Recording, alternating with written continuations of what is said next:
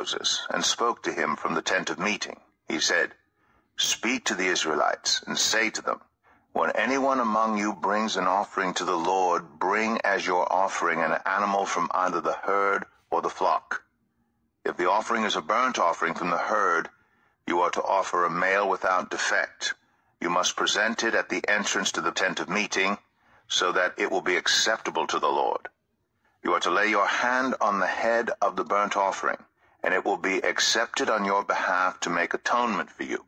You are to slaughter the young bull before the Lord, and then Aaron's sons, the priest, shall bring the blood and splash it against the sides of the altar at the entrance to the tent of meeting. You are to skin the burnt offering and cut it into pieces. The sons of Aaron, the priests, are to put fire on the altar and arrange wood on the fire. Then Aaron's sons, the priests, shall arrange the pieces, including the head and the fat, on the wood that is burning on the altar. You are to wash the internal organs and the legs with water, and the priest is to burn all of it on the altar. It is a burnt offering, a food offering, an aroma pleasing to the Lord. If the offering is a burnt offering from the flock, from either the sheep or the goats, you are to offer a male without defect. You are to slaughter it on the north side of the altar before the Lord, and Aaron's sons, the priests, shall splash its blood against the sides of the altar. You are to cut it into pieces, and the priest shall arrange them, including the head and the fat, on the wood that is burning on the altar. You are to wash the internal organs and the legs with water, and the priest is to bring all of them and burn them on the altar. It is a burnt offering, a food offering, an aroma pleasing to the Lord. If the offering to the Lord is a burnt offering of birds, you are to offer a dove or a young pigeon. The priest shall bring it to the altar, wring off the head, and burn it on the altar. Its blood shall be drained out on the side of the altar. He is to remove the crop and the feathers, and throw them down east of the altar where the ashes are. He shall tear it open by the wings, not dividing it completely, and then the priest shall burn it on the wood that is burning on the altar. It is a burnt offering, a food offering, an aroma pleasing to the Lord. Leviticus 2 When anyone brings a grain offering to the Lord, their offering is to be of the finest flour. They are to pour olive oil on it, put incense on it, and take it to Aaron's sons the priests. The priest shall take a handful of the flour and oil, together with all the incense, and burn this as a memorial portion on the altar, a food offering, an aroma pleasing to the Lord. The rest of the grain offering belongs to Aaron and his sons. It is a most holy part of the food offerings presented to the Lord. If you bring a grain offering baked in an oven, it is to consist of the finest flour, either thick loaves made without yeast and with olive oil mixed in, or thin loaves made without yeast and brushed with olive oil. If your grain offering is prepared on a griddle, it is to be made of the finest flour mixed with oil and without yeast. Crumble it and pour oil on it. It is a grain offering. If your grain offering is cooked in a pan, it is to be made of the finest flour and some olive oil. Bring the grain offering made of these things to the Lord, present it to the priest, who shall take it to the altar. He shall take out the memorial portion from the grain offering, and burn it on the altar as a food offering, an aroma pleasing to the Lord. The rest of the grain offering belongs to Aaron and his sons. It is a most holy part of the food offerings presented to the Lord. Every grain offering you bring to the Lord must be made without yeast, for you are not to burn any yeast or honey in a food offering presented to the Lord. You may bring them to the Lord as an offering of the first fruits, but they are not to be offered on the altar as a pleasing aroma. Season all your grain offerings with salt. Do not leave the salt of the covenant of your God out of your grain offerings. Add salt to all your offerings. If you bring a grain offering of first fruits to the Lord, Offer crushed heads of new grain roasted in the fire. Put oil and incense on it. It is a grain offering. The priest shall burn the memorial portion of the crushed grain and the oil together with all the incense as a food offering presented to the Lord.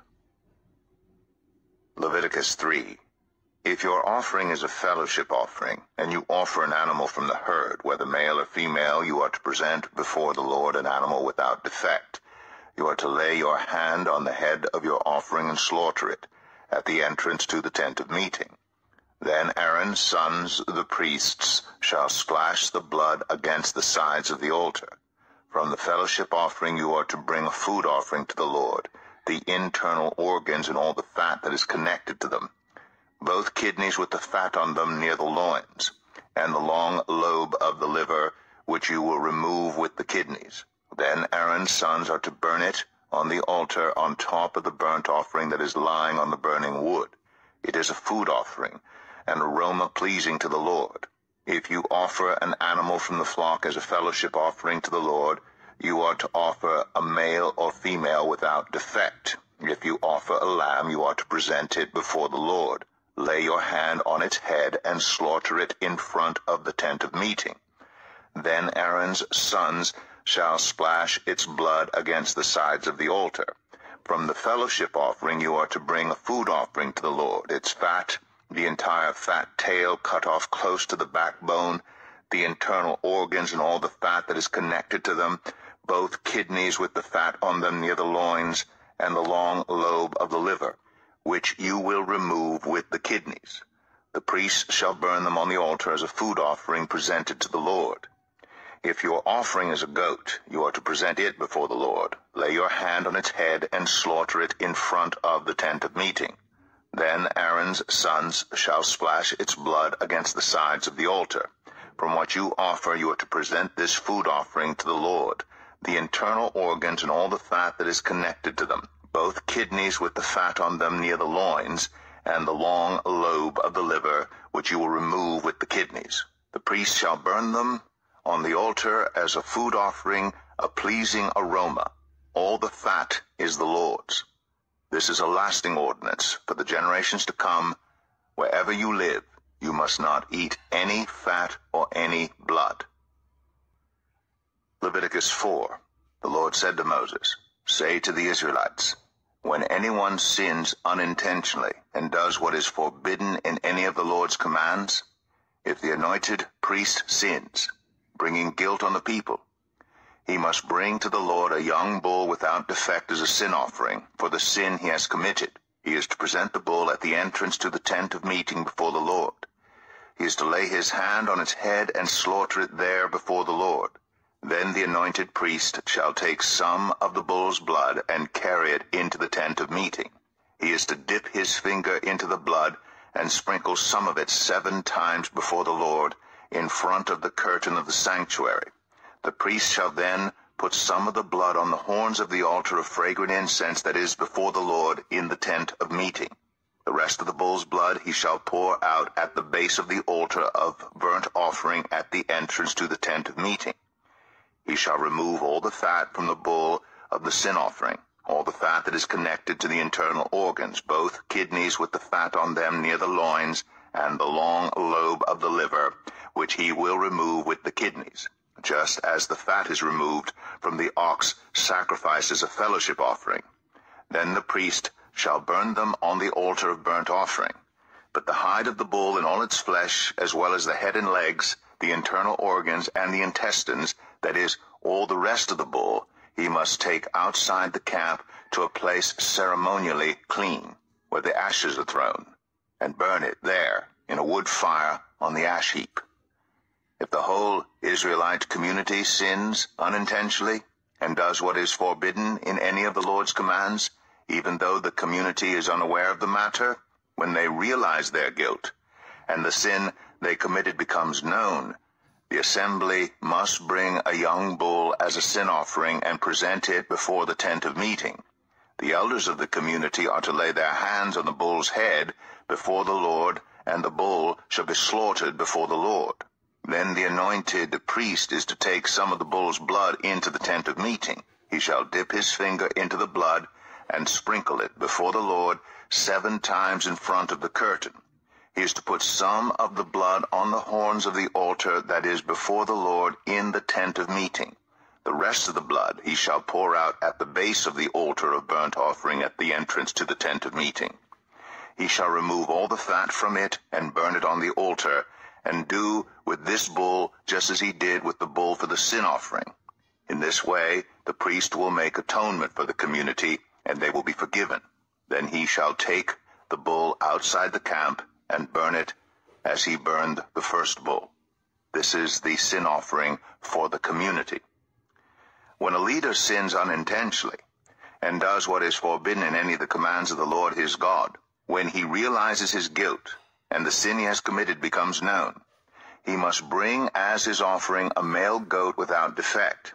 He is to lay his hand on the goat's head and slaughter it at the place where the burnt offering is slaughtered before the Lord. It is a sin offering. Then the priest shall take some of the blood of the sin offering with his finger and put it on the horns of the altar of burnt offering and pour out the rest of the blood at the base of the altar. He shall burn all the fat on the altar as he burned the fat of the fellowship offering. In this way the priest will make atonement for the leader's sin, and he will be forgiven. If any member of the community sins unintentionally and does what is forbidden in any of the Lord's commands, when they realize their guilt and the sin they have committed becomes known, they must bring as their offering for the sin they committed a female goat without defect. Are to lay their hand on the head of the sin offering and slaughter it at the place of the burnt offering. Then the priest is to take some of the blood with his finger and put it on the horns of the altar of burnt offering and pour out the rest of the blood at the base of the altar. They shall remove all the fat, just as the fat is removed from the fellowship offering, and the priest shall burn it on the altar as an aroma pleasing to the Lord. In this way the priest will make atonement for them, and they will be forgiven. If someone brings a lamb as their sin offering, they are to bring a female without defect. They are to lay their hand on its head and slaughter it for a sin offering at the place where the burnt offering is slaughtered. Then the priest shall take some of the blood of the sin offering with his finger and put it on the horns of the altar of burnt offering and pour out the rest of the blood at the base of the altar. They shall remove all the fat just as the fat is removed from the lamb of the fellowship offering, and the priest shall burn it on the altar on top of the food offerings presented to the Lord. In this way, the priest shall make atonement for them for the sin they have committed, and they will be forgiven. Leviticus 5 If anyone sins because they do not speak up when they hear a public charge to testify regarding something they have seen or learned about, they will be held responsible. If anyone becomes aware that they are guilty, if they unwittingly touch anything ceremonially unclean, whether the carcass of an unclean animal, wild or domestic, or of any unclean creature that moves along the ground, and they are unaware that they have become unclean, but then they come to realize their guilt, or if they touch human uncleanness, anything that would make them unclean, even though they are unaware of it, but then they learn of it and realize their guilt, or if anyone thoughtlessly takes an oath to do anything, whether good or evil, in any matter one might carelessly swear about, even though they are unaware of it, but then they learn of it and realize their guilt. When anyone becomes aware that they are guilty in any of these matters, they must confess in what way they have sinned. As a penalty for the sin they have committed, they must bring to the Lord a female lamb or goat from the flock as a sin offering, and the priest shall make atonement for them for their sin. Anyone who cannot afford a lamb is to bring two doves or two young pigeons to the Lord as a penalty for their sin, one for a sin offering and the other for a burnt offering. They are to bring them to the priest, who shall first offer the one for the sin offering. He is to wring its head from its neck, not dividing it completely, and is to splash some of the blood of the sin offering against the side of the altar. The rest of the blood must be drained out at the base of the altar. It is a sin offering. The priest shall then offer the other as a burnt offering in the prescribed way, and make atonement for them for the sin they have committed, and they will be forgiven. If, however, they cannot afford two doves or two young pigeons, they are to bring as an offering for their sin a tenth of an ephah of the finest flour for a sin offering. They must not put olive oil or incense on it, because it is a sin offering. They are to bring it to the priest, who shall take a handful of it as a memorial portion, and burn it on the altar on top of the food offerings presented to the Lord. It is a sin offering. In this way the priest will make atonement for them for any of these sins they have committed, and they will be forgiven.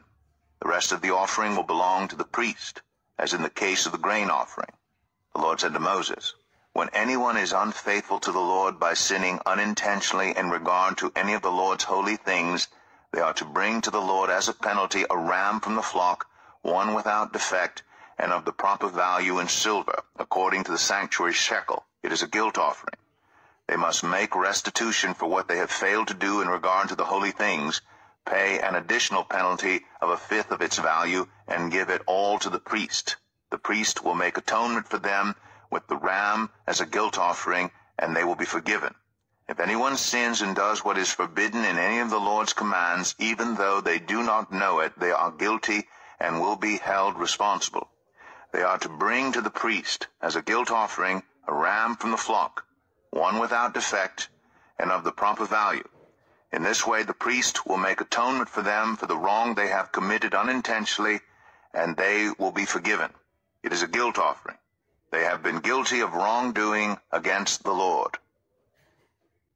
Leviticus 6 The Lord said to Moses, If anyone sins and is unfaithful to the Lord by deceiving a neighbor about something entrusted to them or left in their care, or about something stolen, or if they cheat their neighbor, or if they find lost property and lie about it, or if they swear falsely about any such sin that people may commit, when they sin in any of these ways and realize their guilt, they must return what they have stolen or taken by extortion, or what was entrusted to them, or the lost property they found, or whatever it was they swore falsely about.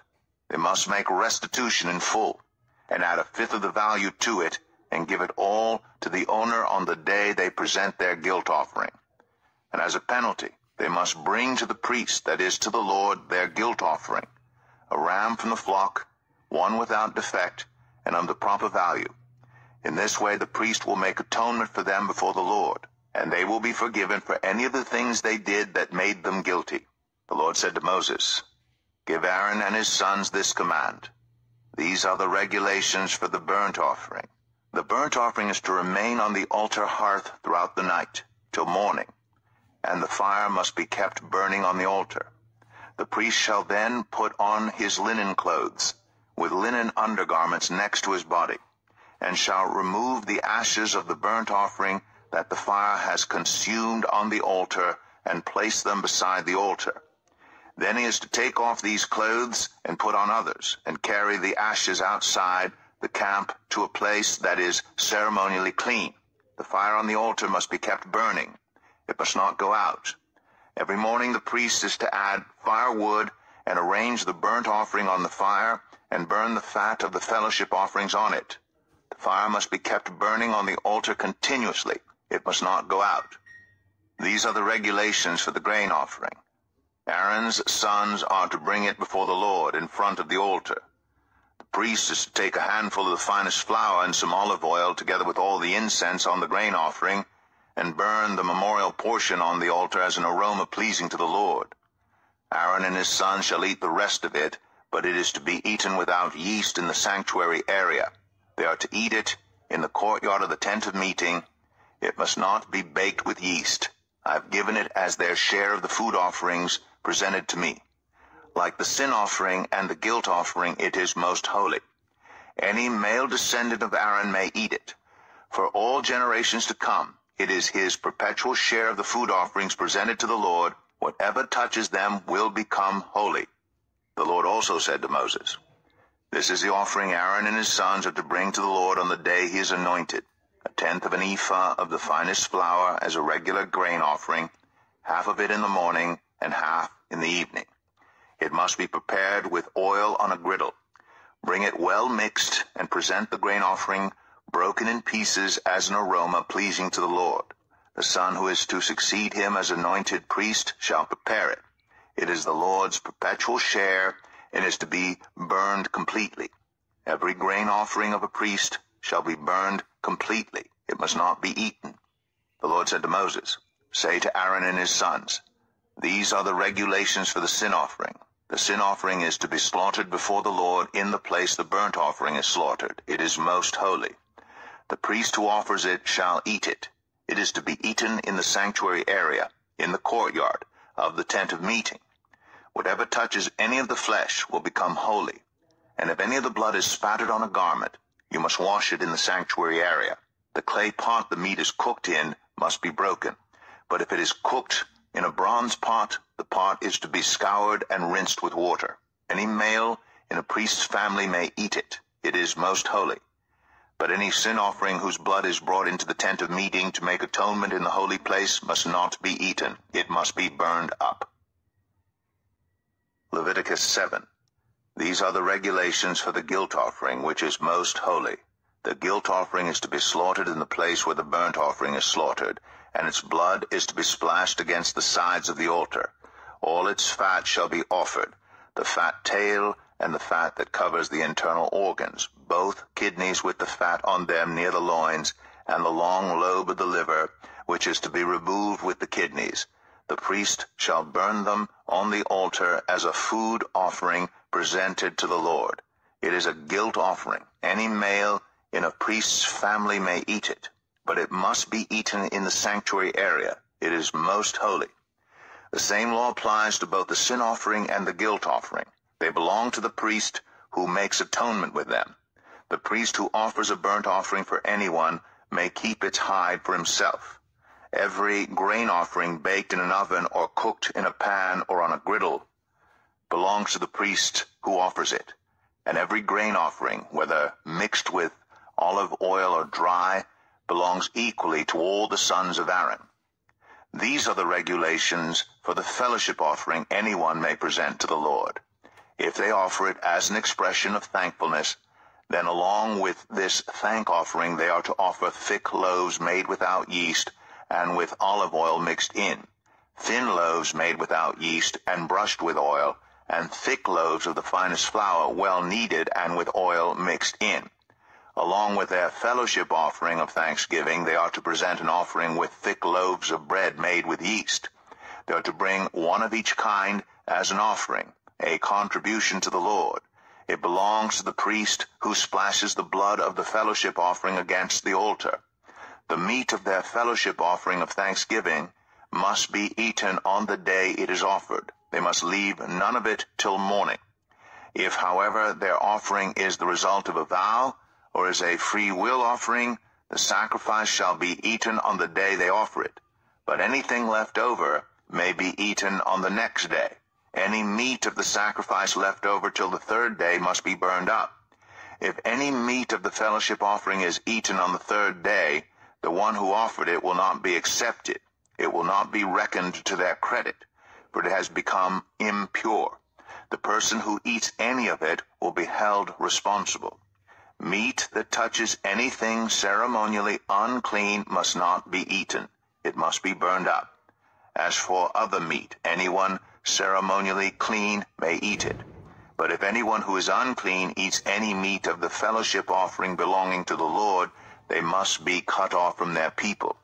Anyone who touches something unclean, whether human uncleanness or an unclean animal or any unclean creature that moves along the ground and then eats any of the meat of the fellowship offering belonging to the Lord must be cut off from their people. The Lord said to Moses, Say to the Israelites, Do not eat any of the fat of cattle, sheep, or goats. The fat of an animal found dead or torn by wild animals may be used for any other purpose, but you must not eat it. Anyone who eats the fat of an animal from which a food offering may be presented to the Lord must be cut off from their people. And wherever you live, you must not eat the blood of any bird or animal. Anyone who eats blood must be cut off from their people. The Lord said to Moses, Say to the Israelites, Anyone who brings a fellowship offering to the Lord is to bring part of it as their sacrifice to the Lord. With their own hands they are to present the food offering to the Lord. They are to bring the fat together with the breast, and wave the breast before the Lord as a wave offering. The priest shall burn the fat on the altar, but the breast belongs to Aaron and his sons. You are to give the right thigh of your fellowship offerings to the priest as a contribution. The son of Aaron who offers the blood and the fat of the fellowship offering shall have the right thigh as his share. From the fellowship offerings of the Israelites I have taken the breast that is waved and the thigh that is presented, and have given them to Aaron the priest and his sons as their perpetual share from the Israelites. This is the portion of the food offerings presented to the Lord that were allotted to Aaron and his sons on the day they were presented to serve the Lord as priests. On the day they were anointed, the Lord commanded that the Israelites give this to them as their perpetual share for the generations to come.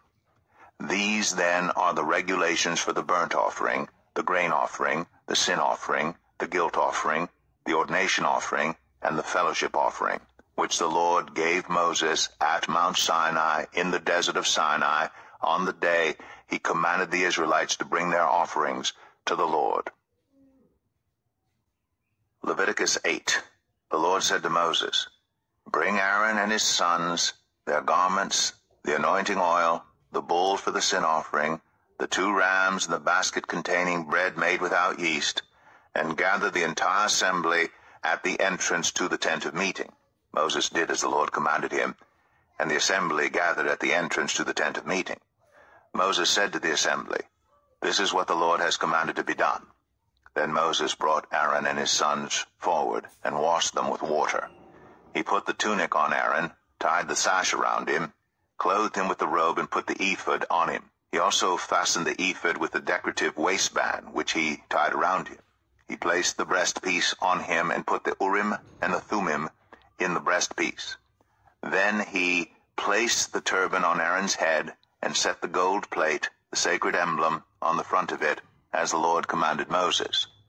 Then Moses took the anointing oil and anointed the tabernacle and everything in it, and so consecrated them. He sprinkled some of the oil on the altar seven times, anointing the altar and all its utensils and the basin with its stand to consecrate them. He poured some of the anointing oil on Aaron's head and anointed him to consecrate him. Then he brought Aaron's sons forward, put tunics on them, tied sashes around them, and fastened caps on them as the Lord commanded Moses. He then presented the bull for the sin offering, and Aaron and his sons laid their hands on its head. Moses slaughtered the bull and took some of the blood, and with his finger he put it on all the horns of the altar to purify the altar. He poured out the rest of the blood at the base of the altar. So he consecrated it to make atonement for it. Moses also took all the fat around the internal organs, the long lobe of the liver, and both kidneys and their fat, and burned it on the altar. But the bull, with its hide, and its flesh, and its intestines, he burned up outside the camp, as the Lord commanded Moses. He then presented the ram for the burnt offering, and Aaron and his sons laid their hands on its head. Then Moses slaughtered the ram and splashed the blood against the sides of the altar. He cut the ram into pieces, and burned the head, the pieces, and the fat. He washed the internal organs and the legs with water, and burned the whole ram on the altar. It was a burnt offering, a pleasing aroma a food offering presented to the Lord, as the Lord commanded Moses. He then presented the other ram, the ram for the ordination, and Aaron and his sons laid their hands on its head.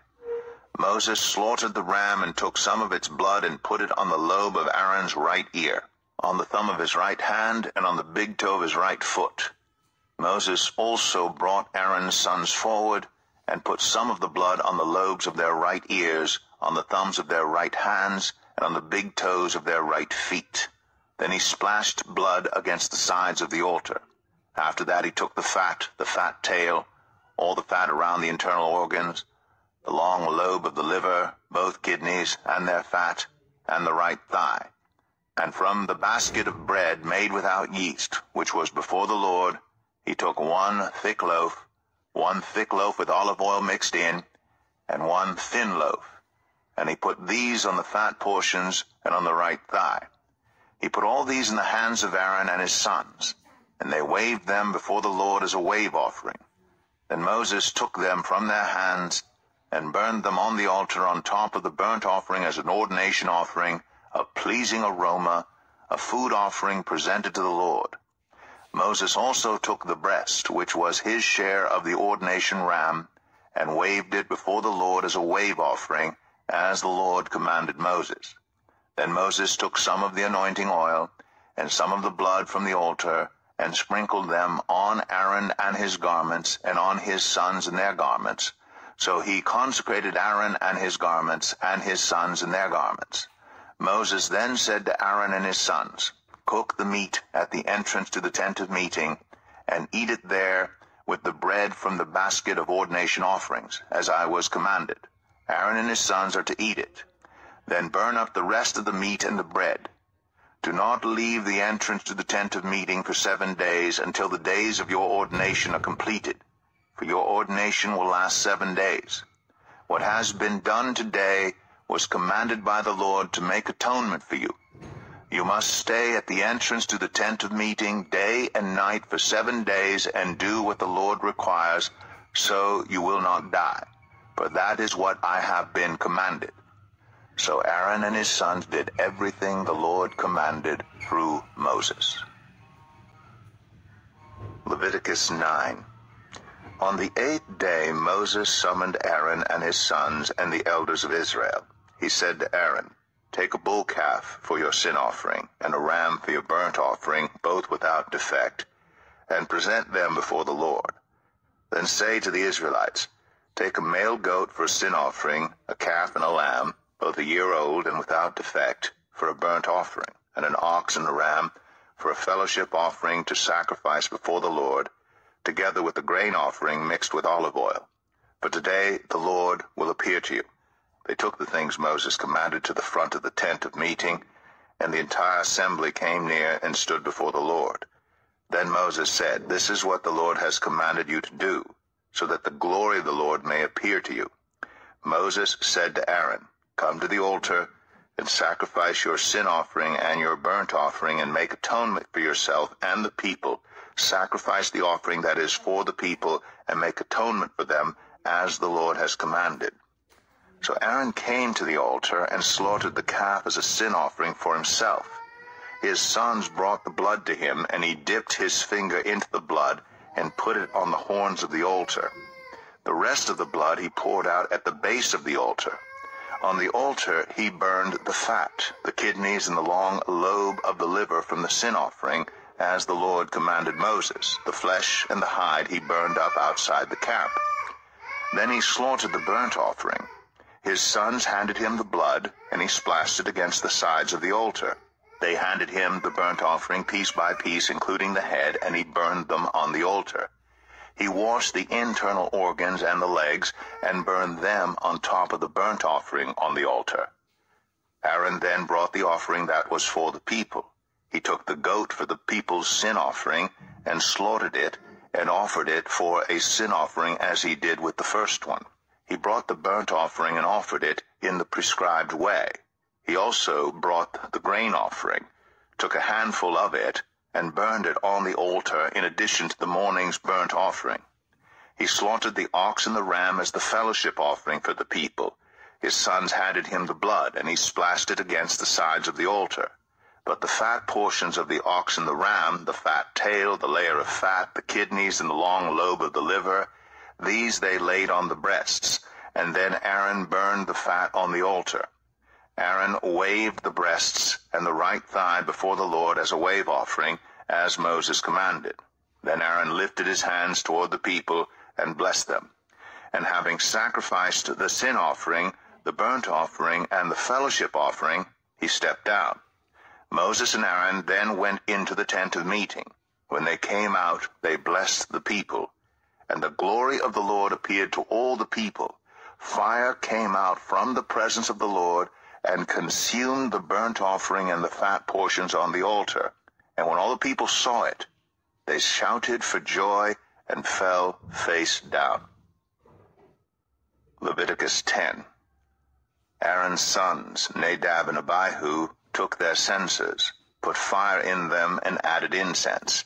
And they offered unauthorized fire before the Lord, contrary to his command. So fire came out from the presence of the Lord and consumed them, and they died before the Lord.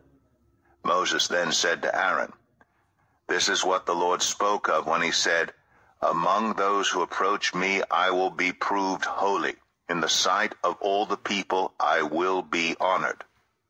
Aaron remained silent. Moses summoned Mishael and Elzaphan, sons of Aaron's uncle Uzziel, and said to them, Come here. Carry your cousins outside the camp, away from the front of the sanctuary. So they came and carried them, still in their tunics, outside the camp, as Moses ordered. Then Moses said to Aaron and his sons Eleazar and Ithamar, Do not let your hair become unkempt, and do not tear your clothes, or you will die, and the Lord will be angry with the whole community. But your relatives, all the Israelites, may mourn for those the Lord has destroyed by fire. Do not leave the entrance to the tent of meeting, or you will die, because the Lord's anointing oil is on you. So they did as Moses said. And then the Lord said to Aaron, You and your sons are not to drink wine or other fermented drink whenever you go into the tent of meeting, or you will die.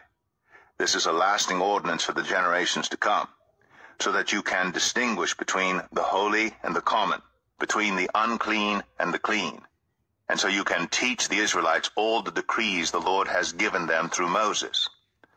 Moses said to Aaron and his remaining sons, Eleazar and Ithamar, Take the grain offering left over from the food offerings, prepared without yeast, and present it to the Lord, and eat it beside the altar, for it is most holy. Eat it in the sanctuary area, because it is your share and your son's share of the food offerings presented to the Lord, for so I have been commanded. But you and your sons and your daughters may eat the breast that was waved and the thigh that was presented. Eat them in a ceremonially clean place. They have been given to you, and your children as your share of the Israelites' fellowship offerings. The thigh that was presented and the breast that was waved must be brought with the fat portions of the food offerings, to be waved before the Lord as a wave offering. This will be the perpetual share for you and your children as the Lord has commanded.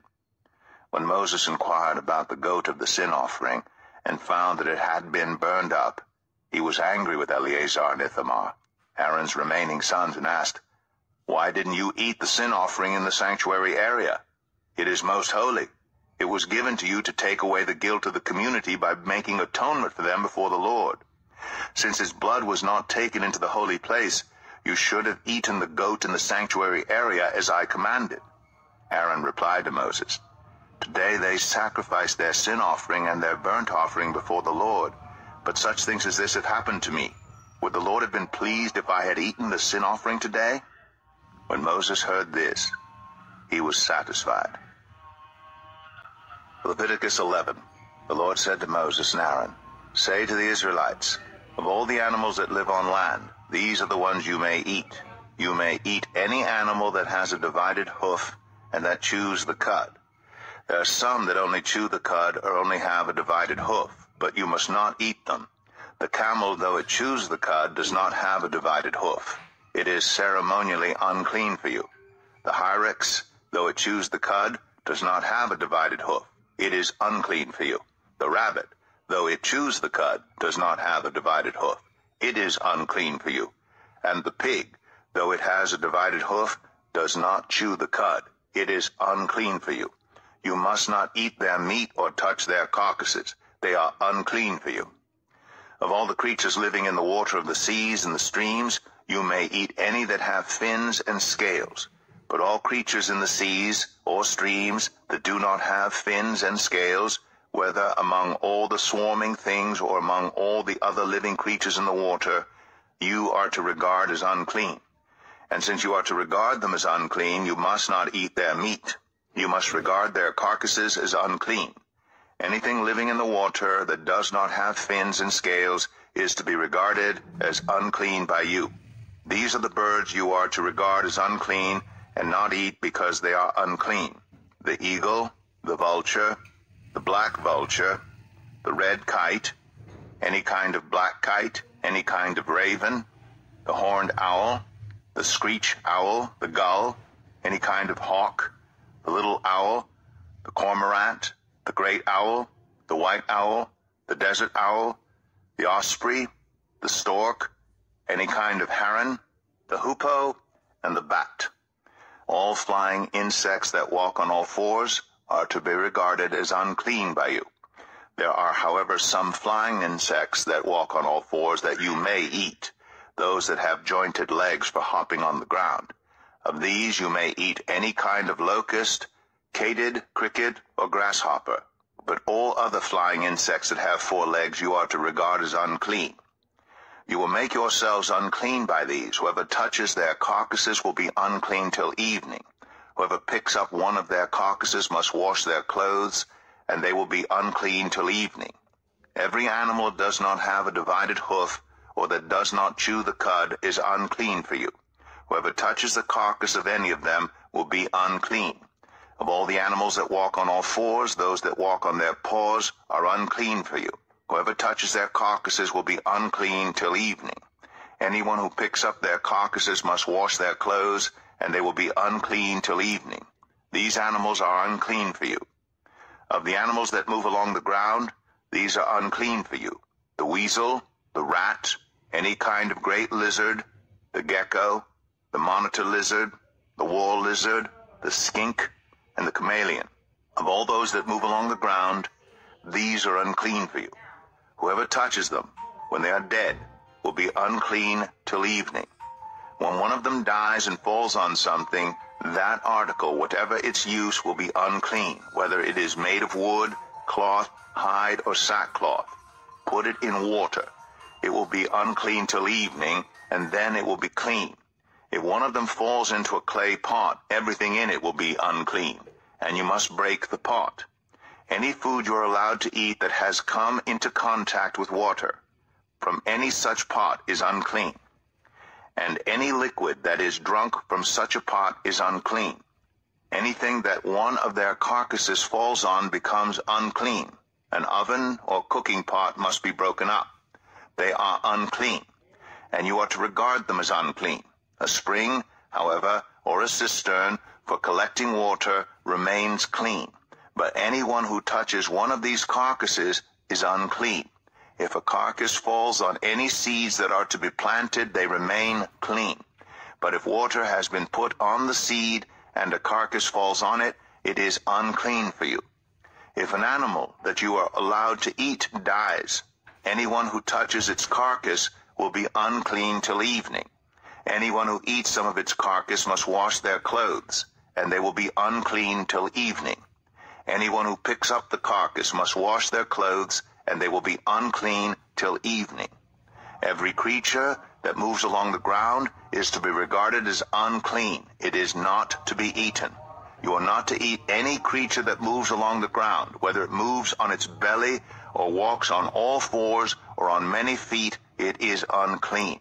Do not defile yourselves by any of these creatures. Do not make yourselves unclean by means of them, or be made unclean by them. I am the Lord your God.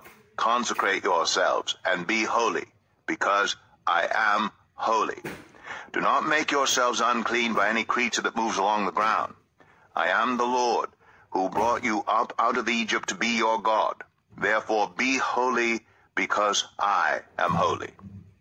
These are the regulations concerning animals, birds, every living thing that moves about in the water, and every creature that moves along the ground you must distinguish between the unclean and the clean, between living creatures that may be eaten and those that may not be eaten. Leviticus 12. The Lord said to Moses, Say to the Israelites, A woman who becomes pregnant and gives birth to a son will be ceremonially unclean for seven days, just as she is unclean during her monthly period. On the eighth day the boy is to be circumcised. Then the woman must wait thirty-three days to be purified from her bleeding. She must not touch anything sacred or go to the sanctuary until the days of her purification are over.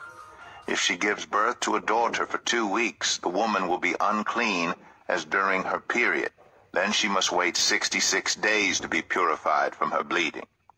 When the days of her purification for a son or daughter are over, she is to bring to the priests at the entrance to the tent of meeting a year-old lamb for a burnt offering and a young pigeon or a dove for a sin offering. He shall offer them before the Lord to make atonement for her and then she will be ceremonially clean from her flow of blood. These are the regulations for the woman who gives birth to a boy or a girl. If she cannot afford a lamb, she is to bring two doves or two young pigeons, one for a burnt offering and the other for a sin offering. In this way, the priest will make atonement for her, and she will be clean. Leviticus 13. The Lord said to Moses and Aaron, When anyone has a swelling or a rash or a shiny spot on their skin that may be a defiling skin disease, they must be brought to Aaron the priest or to one of his sons who is a priest.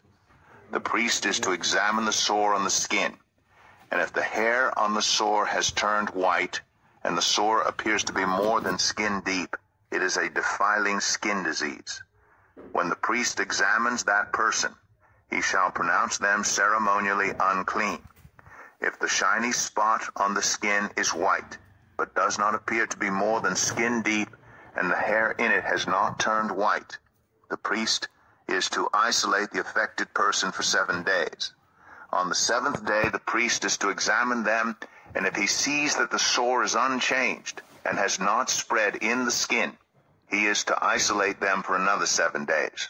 On the seventh day, the priest is to examine them again. And if the sore has faded and has not spread in the skin, the priest shall pronounce them clean. It is only a rash. They must wash their clothes, and they will be clean. But if the rash does spread in their skin after they have shown themselves to the priest, to be pronounced clean, they must appear before the priest again. The priest is to examine that person, and if the rash has spread in the skin, he shall pronounce them unclean. It is a defiling skin disease. When anyone has a defiling skin disease, they must be brought to the priest. The priest is to examine them, and if there is a white swelling in the skin that has turned the hair white, and if there is raw flesh in the swelling, it is a chronic skin disease, and the priest shall pronounce them unclean. He is not to isolate them because they are already unclean. If the disease breaks out all over their skin, and, so far as the priest can see, it covers all the skin of the affected person from head to foot, the priest is to examine them, and if the disease has covered their whole body, he shall pronounce them clean. Since it has all turned white, they are clean. But whenever raw flesh appears on them, they will be unclean. When the priest sees the raw flesh, he shall pronounce them unclean. The raw flesh is unclean. They have a defiling disease. If the raw flesh changes and turns white, they must go to the priest. The priest is to examine them. And if the sores have turned white, the priest shall pronounce the affected person clean. Then they will be clean.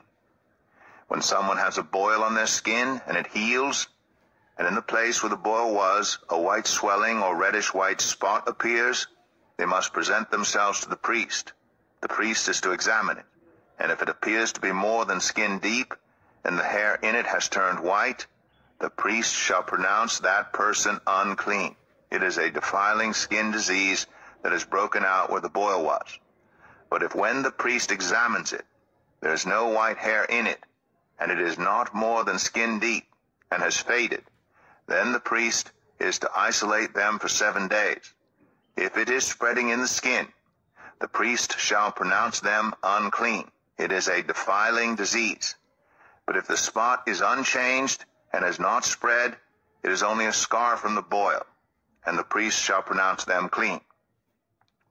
When someone has a burn on their skin, and a reddish white or white spot appears in the raw flesh of the burn, the priest is to examine the spot, and if the hair in it has turned white, and it appears to be more than skin deep, it is a defiling disease that has broken out in the burn.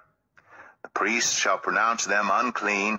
It is a defiling skin disease. But if the priest examines it and there is no white hair in the spot, and if it is not more than skin deep, and has faded, then the priest is to isolate them for seven days. On the seventh day, the priest is to examine that person, and if it is spreading in the skin, the priest shall pronounce them unclean. It is a defiling skin disease. If, however, the spot is unchanged and has not spread in the skin but has faded, It is a swelling from the burn, and the priest shall pronounce them clean. It is only a scar from the burn. If a man or woman has a sore on their head or chin, the priest is to examine the sore, and if it appears to be more than skin deep, and the hair in it is yellow and thin, the priest shall pronounce them unclean. It is a defiling skin disease on the head or chin. But if when the priest examines the sore, it does not seem to be more than skin deep, and there is no black hair in it, then the priest is to isolate the affected person for seven days. On the seventh day, the priest is to examine the sore, and if it has not spread and there is no yellow hair in it, and it does not appear to be more than skin deep, then the man or woman must shave themselves, except for the affected area, and the priest is to keep them isolated another seven days. On the seventh day, the priest is to examine the sore, and if it has not spread in the skin and appears to be no more than skin deep, the priest shall pronounce them clean. They must wash their clothes, and they will be clean. But if the sore does spread in the skin after they are pronounced clean, the priest is to examine them. And if he finds that the sore has spread in the skin, he does not need to look for yellow hair. They are unclean. If, however, the sore is unchanged, so far as the priest can see, and if black hair has not grown in it, the affected person is healed. They are clean, and the priest shall pronounce them clean. When a man or woman has white spots on the skin, the priest is to examine them. And if the spots are dull white, it is a harmless rash that has broken out on the skin. They are clean. A man who has lost his hair and is bald is clean. If he has lost his hair from the front of his scalp and has a bald forehead, he is clean. But if he has a reddish white sore on his bald head or forehead, it is a defiling disease breaking out on his head or forehead. The priest is to examine him. And if the swollen sore on his head or forehead is reddish white, like a defiling skin disease, the man is diseased and is unclean. The priest shall pronounce him unclean because of the sore on his head.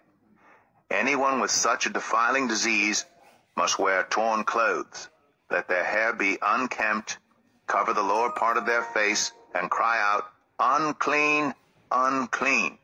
As long as they have the disease, they remain unclean. They must live alone. They must live outside the camp. As for any fabric that is spoiled with a defiling mold, any woolen or linen clothing, any woven or knitted material of linen or wool, any leather, or anything made of leather, if the affected area in the fabric, the leather, the woven or knitted material, or any leather article is greenish or reddish, it is a defiling mold and must be shown to the priest. The priest is to examine the affected area and isolate the article for seven days. On the seventh day, he is to examine it, and if the mold has spread in the fabric, the woven or knitted material, or the leather, whatever its use, it is a persistent defiling mold. The article is unclean. He must burn the fabric, the woven or knitted material of wool or linen, or any leather article that has been spoiled, because the defiling mold is persistent. The article must be burned. But if when the priest examines it, the mold has not spread in the fabric, the woven or knitted material, or the leather article, he shall order that the spoiled article be washed. Then he is to isolate it for another seven days. After the article has been washed, the priest is to examine it again. And if the mold has not changed its appearance, even though it has not spread, it is unclean. Burn it, no matter which side of the fabric has been spoiled. If when the priest examines it, the mold has faded after the article has been washed, he is to tear the spoiled part out of the fabric, the leather, or the woven or knitted material, but if it reappears in the fabric, in the woven or knitted material, or in the leather article, it is a spreading mold. Whatever has the mold must be burned. Any fabric woven or knitted material or any leather article that has been washed and is rid of the mold must be washed again. Then it will be clean.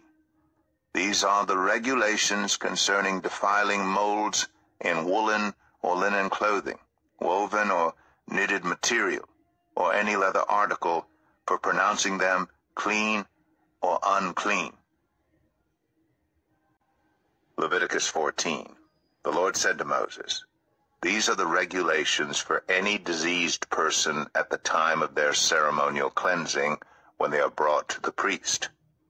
The priest is to go outside the camp and examine them. If they had been healed of their defiling skin disease, the priest shall order the two live clean birds and some cedar wood, scarlet yarn, and hyssop be brought for the person to be cleansed. Then the priest shall order that one of the birds be killed over fresh water in a clay pot.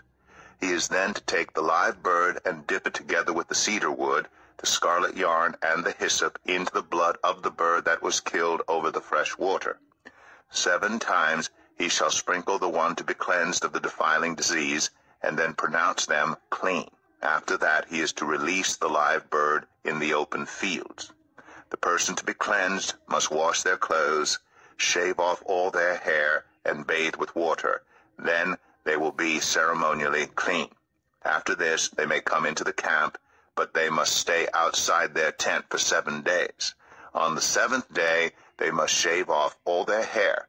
They must shave their head, their beard, their eyebrows, and the rest of their hair. They must wash their clothes and bathe themselves with water, and they will be clean. On the eighth day they must bring two male lambs and one ewe lamb a year old, each without defect, along with three-tenths of an ephah of the finest flour mixed with olive oil for a grain offering, and one log of oil. The priest who pronounces them clean shall present both the one to be cleansed and their offerings before the Lord at the entrance to the tent of meeting. Then the priest is to take one of the male lambs and offer it as a guilt offering, along with the log of oil. He shall wave them before the Lord as a wave offering. He is to slaughter the lamb in the sanctuary area where the sin offering and the burnt offering are slaughtered. Like the sin offering, the guilt offering belongs to the priest. It is most holy. The priest is to take some of the blood of the guilt offering and put it on the lobe of the right ear of the one to be cleansed, on the thumb of their right hand, and on the big toe of their right foot. The priest shall then take some of the log of oil, pour it on the palm of his own left hand, dip his right forefinger into the oil in his palm, and with his finger sprinkle some of it before the Lord seven times. The priest is to put some of the oil remaining in his palm on the lobe of the right ear of the one to be cleansed, on the thumb of their right hand, and on the big toe of their right foot, on top of the blood of the guilt offering. The rest of the oil in his palm the priest shall put on the head of the one to be cleansed, and make atonement for them before the Lord. Then the priest is to sacrifice the sin offering and make atonement for the one to be cleansed from their uncleanness. After that, the priest shall slaughter the burnt offering and offer it on the altar together with the grain offering and make atonement for them, and they will be clean. If, however, they are poor and cannot afford these, they must take one male lamb as a guilt offering to be waved to make atonement for them, together with a tenth of an ephah of the finest flour mixed with olive oil for a grain offering, a log of oil, and two doves or two young pigeons, such as they can afford, one for a sin offering and the other for a burnt offering. On the eighth day, they must bring them for their cleansing to the priest at the entrance to the tent of meeting before the Lord. The priest is to take the lamb for the guilt offering, together with the log of oil, and wave them before the Lord as a wave offering. He shall slaughter the lamb for the guilt offering, and take some of its blood, and put it on the lobe of the right ear of the one to be cleansed, on the thumb of their right hand, and on the big toe of their right foot. The priest is to pour some of the oil into the palm of his own left hand, and with his right forefinger sprinkle some of the oil from his palm seven times before the Lord. Some of the oil in his palm he is to put on the same places he put the blood of the guilt offering, on the lobe of the right ear of the one to be cleansed, on the thumb of their right hand, and on the big toe of their right foot. The rest of the oil in his palm the priest shall put on the head of the one to be cleansed, to make atonement for them before the Lord. Then he shall sacrifice the doves or the young pigeons, such as the person can afford, one as a sin offering and the other as a burnt offering, together with the grain offering. In this way the priest will make atonement before the Lord on behalf of the one to be cleansed. These are the regulations for anyone who has a defiling skin disease, and who cannot afford the regular offerings for their cleansing. The Lord said to Moses and Aaron, When you enter the land of Canaan, which I am giving you as your possession, and I put a spreading mold in a house in that land, the owner of the house must go and tell the priest, I have seen something that looks like a defiling mold in my house. The priest is to order the house to be emptied before he goes in to examine the mold, so that nothing in the house will be pronounced unclean. After this, the priest is to go in and inspect the house. He is to examine the mold on the walls, and if it has greenish or reddish depressions that appear to be deeper than the surface of the wall, the priest shall go out of the doorway of the house and close it up for seven days.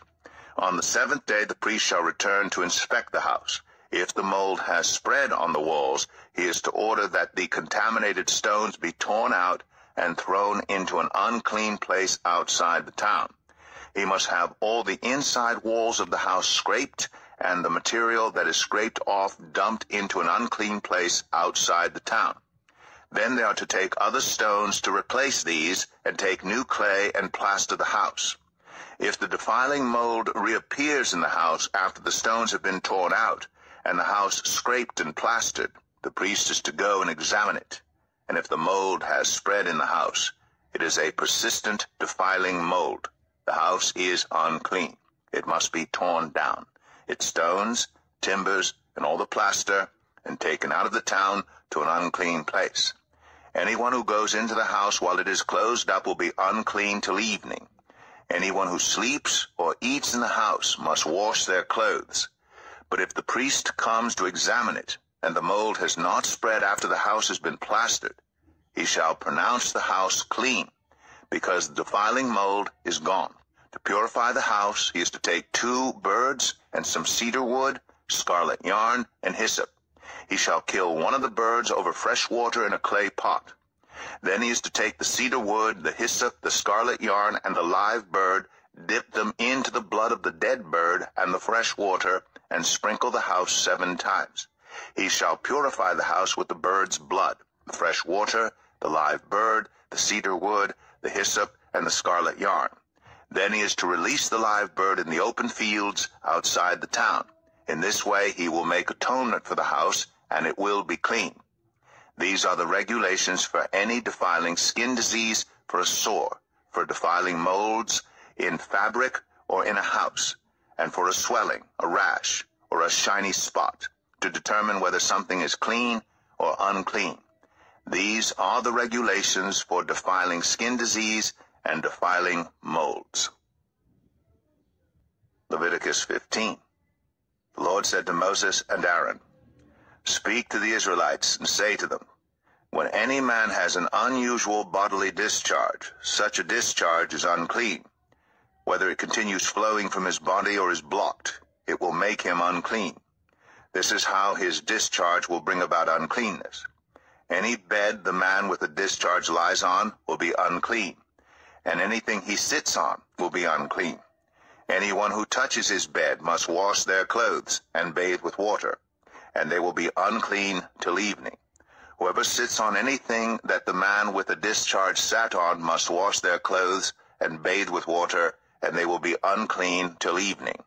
Whoever touches the man or who has a discharge must wash their clothes and bathe with water, and they will be unclean till evening. If the man with the discharge spits on anyone who is clean, they must wash their clothes and bathe with water, and they will be unclean till evening. Everything the man sits on when riding will be unclean, and whoever touches any of the things that were under him will be unclean till evening. Whoever picks up those things must wash their clothes and bathe with water, and they will be unclean till evening. Anyone the man with the discharge touches, without rinsing his hands with water, must wash their clothes and bathe with water, and they will be unclean till evening. A clay pot that the man touches must be broken, and any wooden article is to be rinsed with water. When a man is cleansed from his discharge, he is to count off seven days for his ceremonial cleansing. He must wash his clothes and bathe himself with fresh water, and he will be clean.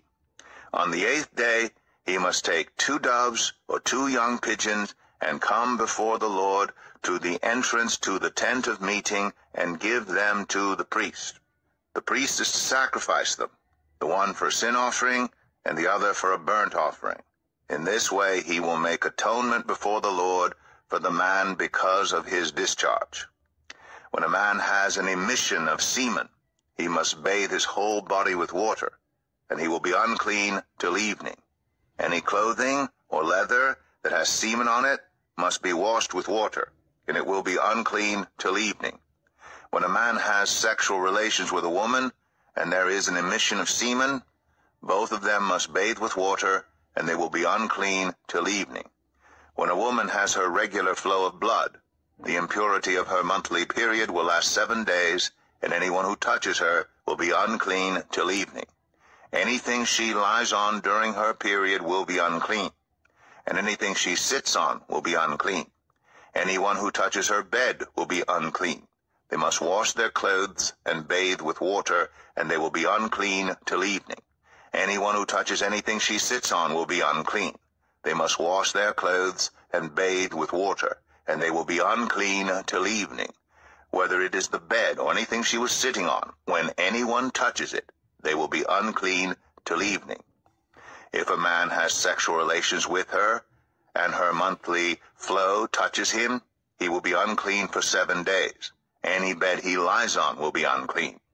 When a woman has a discharge of blood for many days at a time other than her monthly period, or has a discharge that continues beyond her period, she will be unclean as long as she has the discharge, just as in the days of her period. Any bed she lies on while her discharge continues will be unclean, as is her bed during her monthly period. And anything she sits on will be unclean as during her period. Anyone who touches them will be unclean. They must wash their clothes and bathe with water, and they will be unclean till evening. When she is cleansed from her discharge, she must count off seven days, and after that she will be ceremonially clean. On the eighth day she must take two doves or two young pigeons and bring them to the priest at the entrance to the tent of meeting. The priest is to sacrifice one for a sin offering and the other for a burnt offering.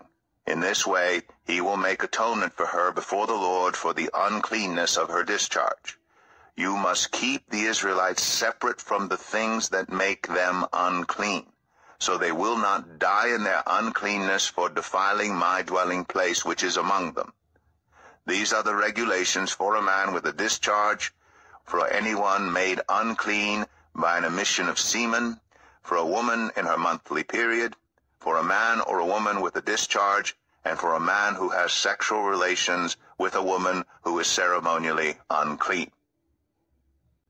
Leviticus 16 the Lord spoke to Moses after the death of the two sons of Aaron who died when they approached the Lord. The Lord said to Moses, Tell your brother Aaron that he is not to come whenever he chooses into the most holy place behind the curtain in front of the atonement cover on the ark, or else he will die. For I will appear in the cloud over the atonement cover. This is how Aaron is to enter the most holy place. He must first bring a young bull for a sin offering and a ram for a burnt offering. He is to put on the sacred linen tunic, with linen undergarments next to his body. He is to tie the linen sash around him and put on the linen turban. These are sacred garments, so he must bathe himself with water before he puts them on. From the Israelite community he is to take two male goats for a sin offering and a ram for a burnt offering.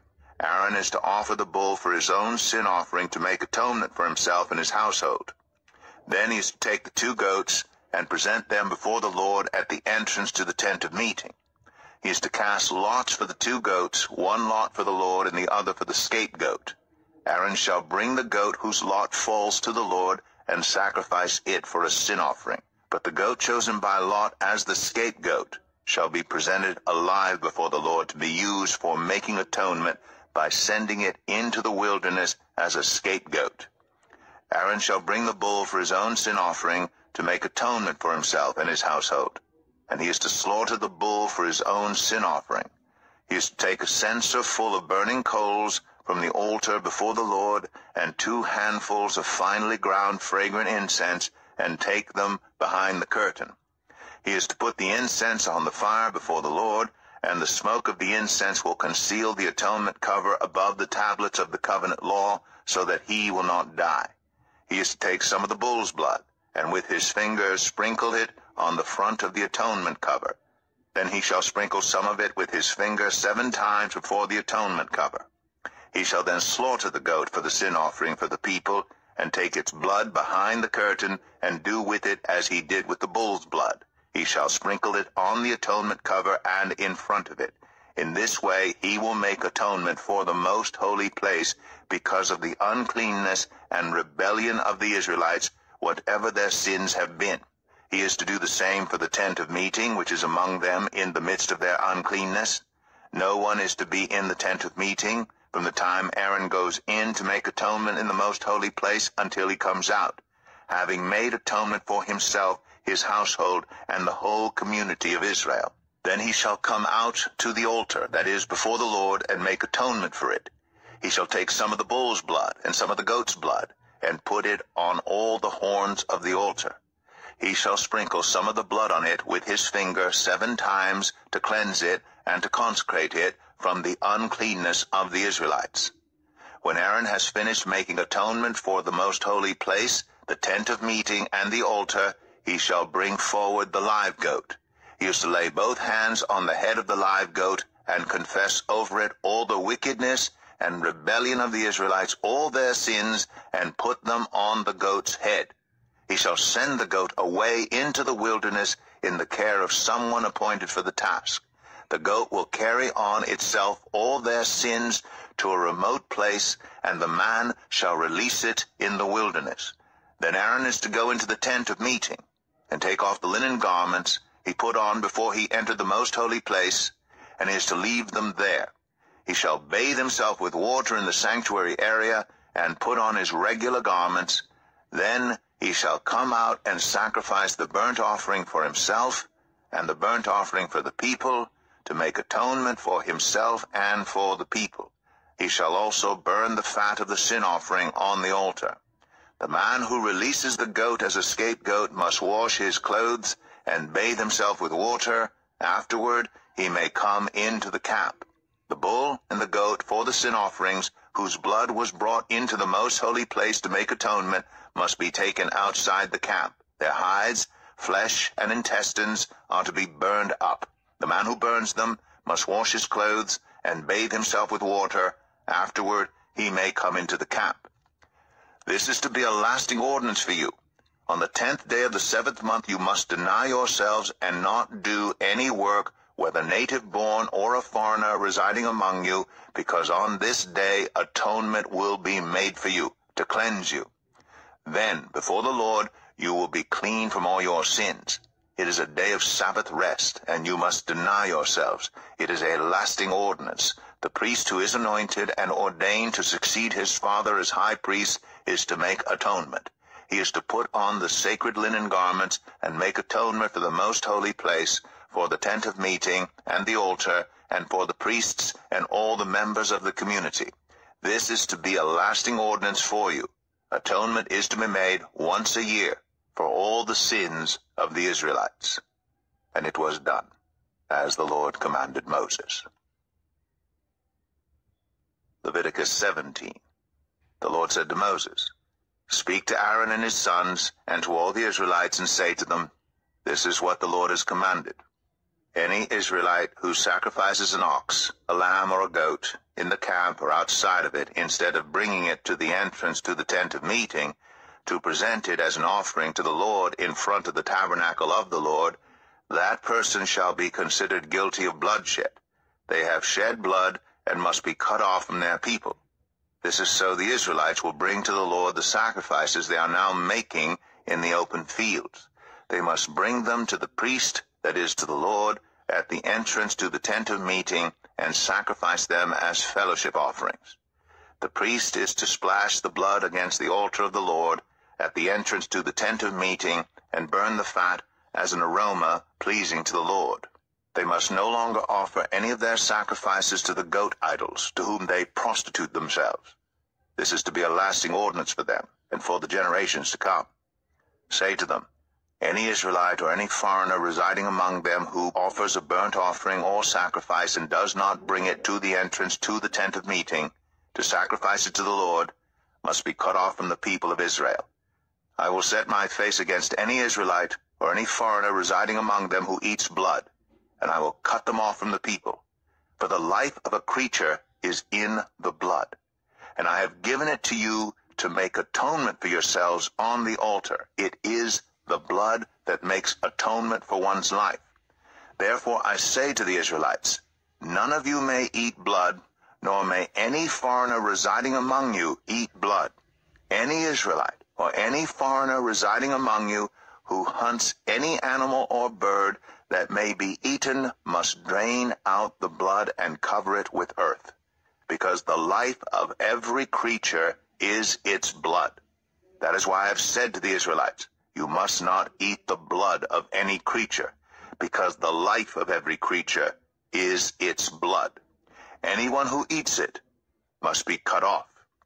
Anyone, whether native born or foreigner, who eats anything found dead or torn by wild animals must wash their clothes and bathe with water, and they will be ceremonially unclean till evening.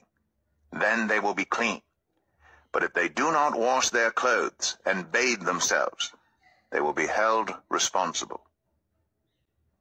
Leviticus 18 The Lord said to Moses, Speak to the Israelites and say to them, I am the Lord your God. You must not do as they do in Egypt, where you used to live, and you must not do as they do in the land of Canaan, where I am bringing you. Do not follow their practices. You must obey my laws and be careful to follow my decrees. I am the Lord your God. Keep my decrees and laws, for the person who obeys them will live by them. I am the Lord. No one is to approach any close relative to have sexual relations. I am the Lord. Do not dishonor your father by having sexual relations with your mother. She is your mother. Do not have relations with her.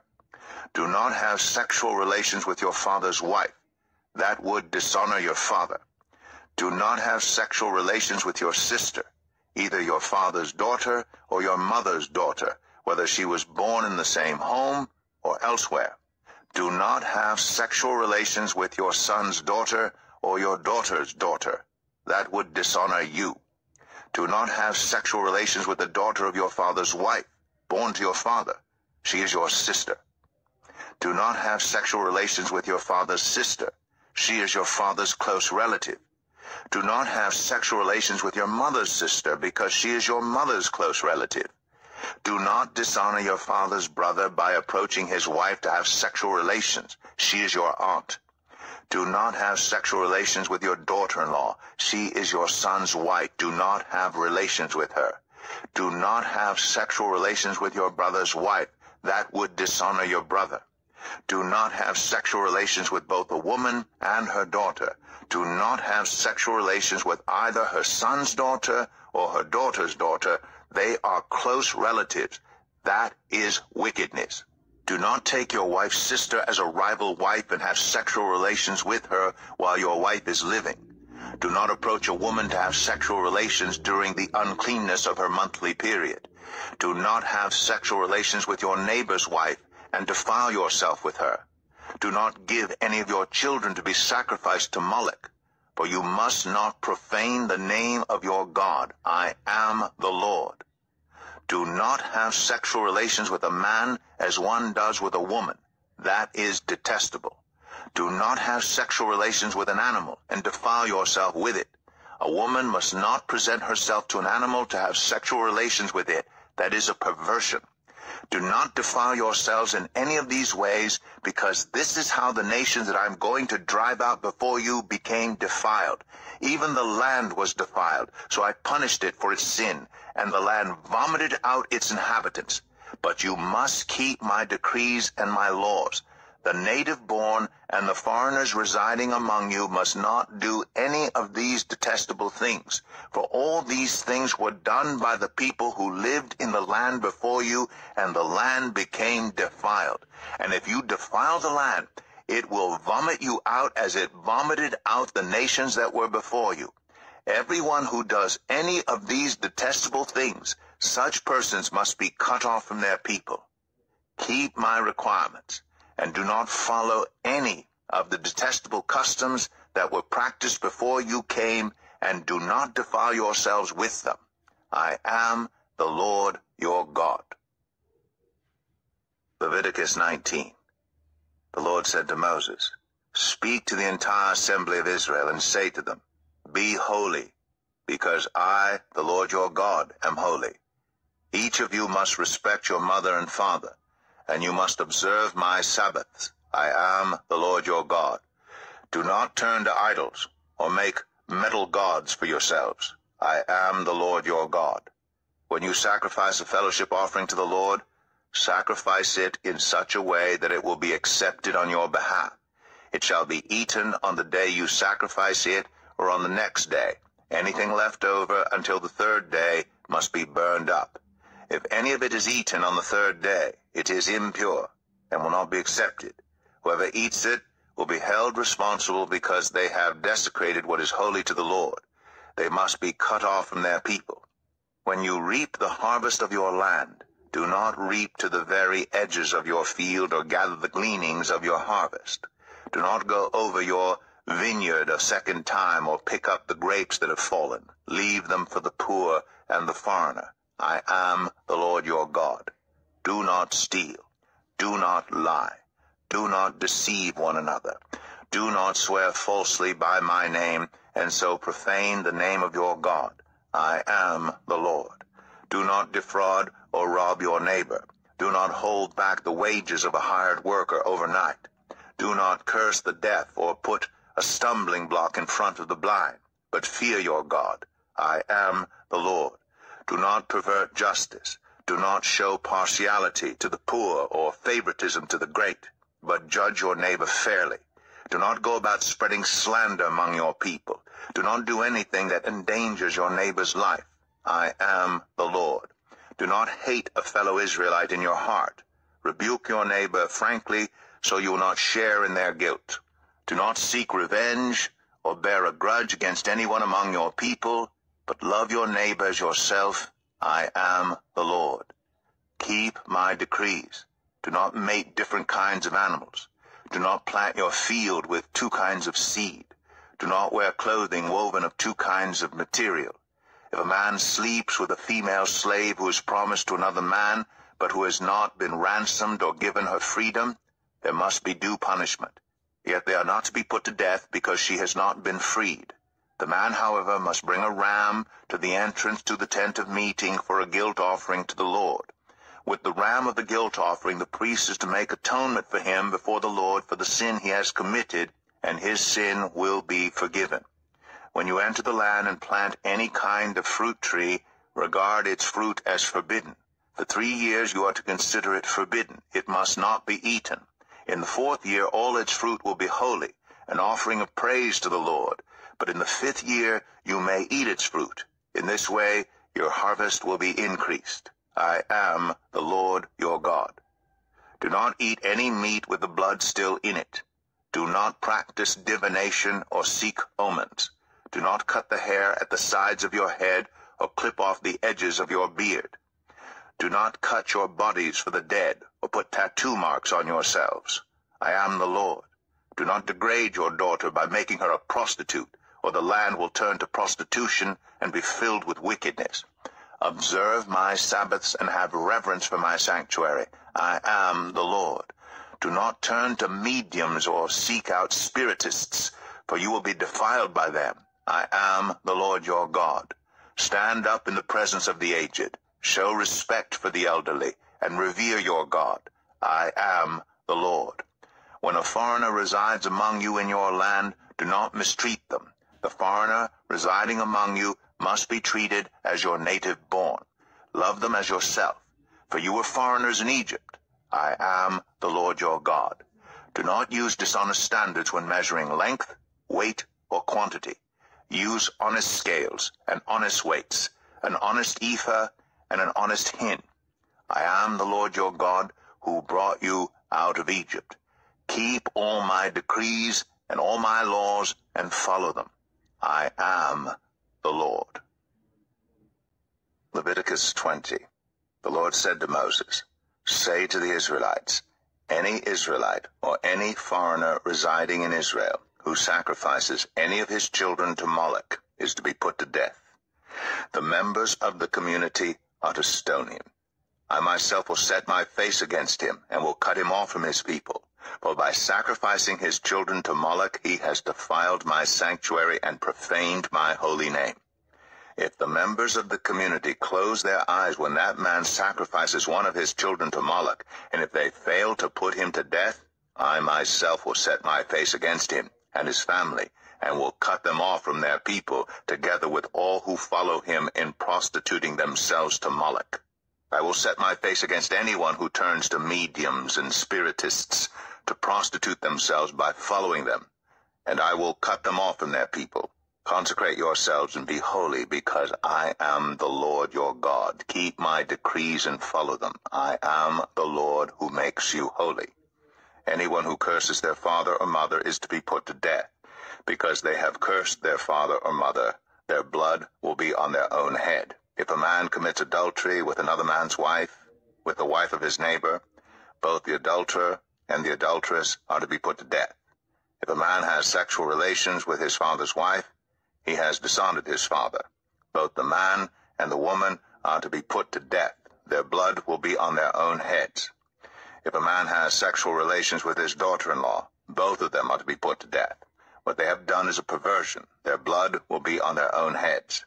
If a man has sexual relations with a man, as one does with a woman, both of them have done what is detestable. They are to be put to death. Their blood will be on their own heads. If a man marries both a woman and her mother, it is wicked. Both he and they must be burned in the fire, so that no wickedness will be among you. If a man has sexual relations with an animal, he is to be put to death, and you must kill the animal. If a woman approaches an animal to have sexual relations with it, kill both the woman and the animal. They are to be put to death. Their blood will be on their own heads. If a man marries his sister, the daughter of either his father or his mother, and they have sexual relations, it is a disgrace. They are to be publicly removed from their people. He has dishonored his sister and will be held responsible. If a man has sexual relations with a woman during her monthly period, he has exposed the source of her flow, and she has also uncovered it. Both of them are to be cut off from their people. Do not have sexual relations with the sister of either your mother or your father, for that would dishonor a close relative. Both of you would be held responsible. If a man has sexual relations with his aunt, he has dishonored his uncle. They will be held responsible. They will die childless. If a man marries his brother's wife, it is an act of impurity. He has dishonored his brother. They will be childless. Keep all my decrees and laws and follow them so that the land where I am bringing you to live may not vomit you out. You must not live according to the customs of the nations I am going to drive out before you. Because they did all these things, I abhorred them. But I said to you, You will possess their land. I will give it to you as an inheritance, a land flowing with milk and honey. I am the Lord your God, who has set you apart from the nations. You must therefore make a distinction between clean and unclean animals and between unclean and clean birds.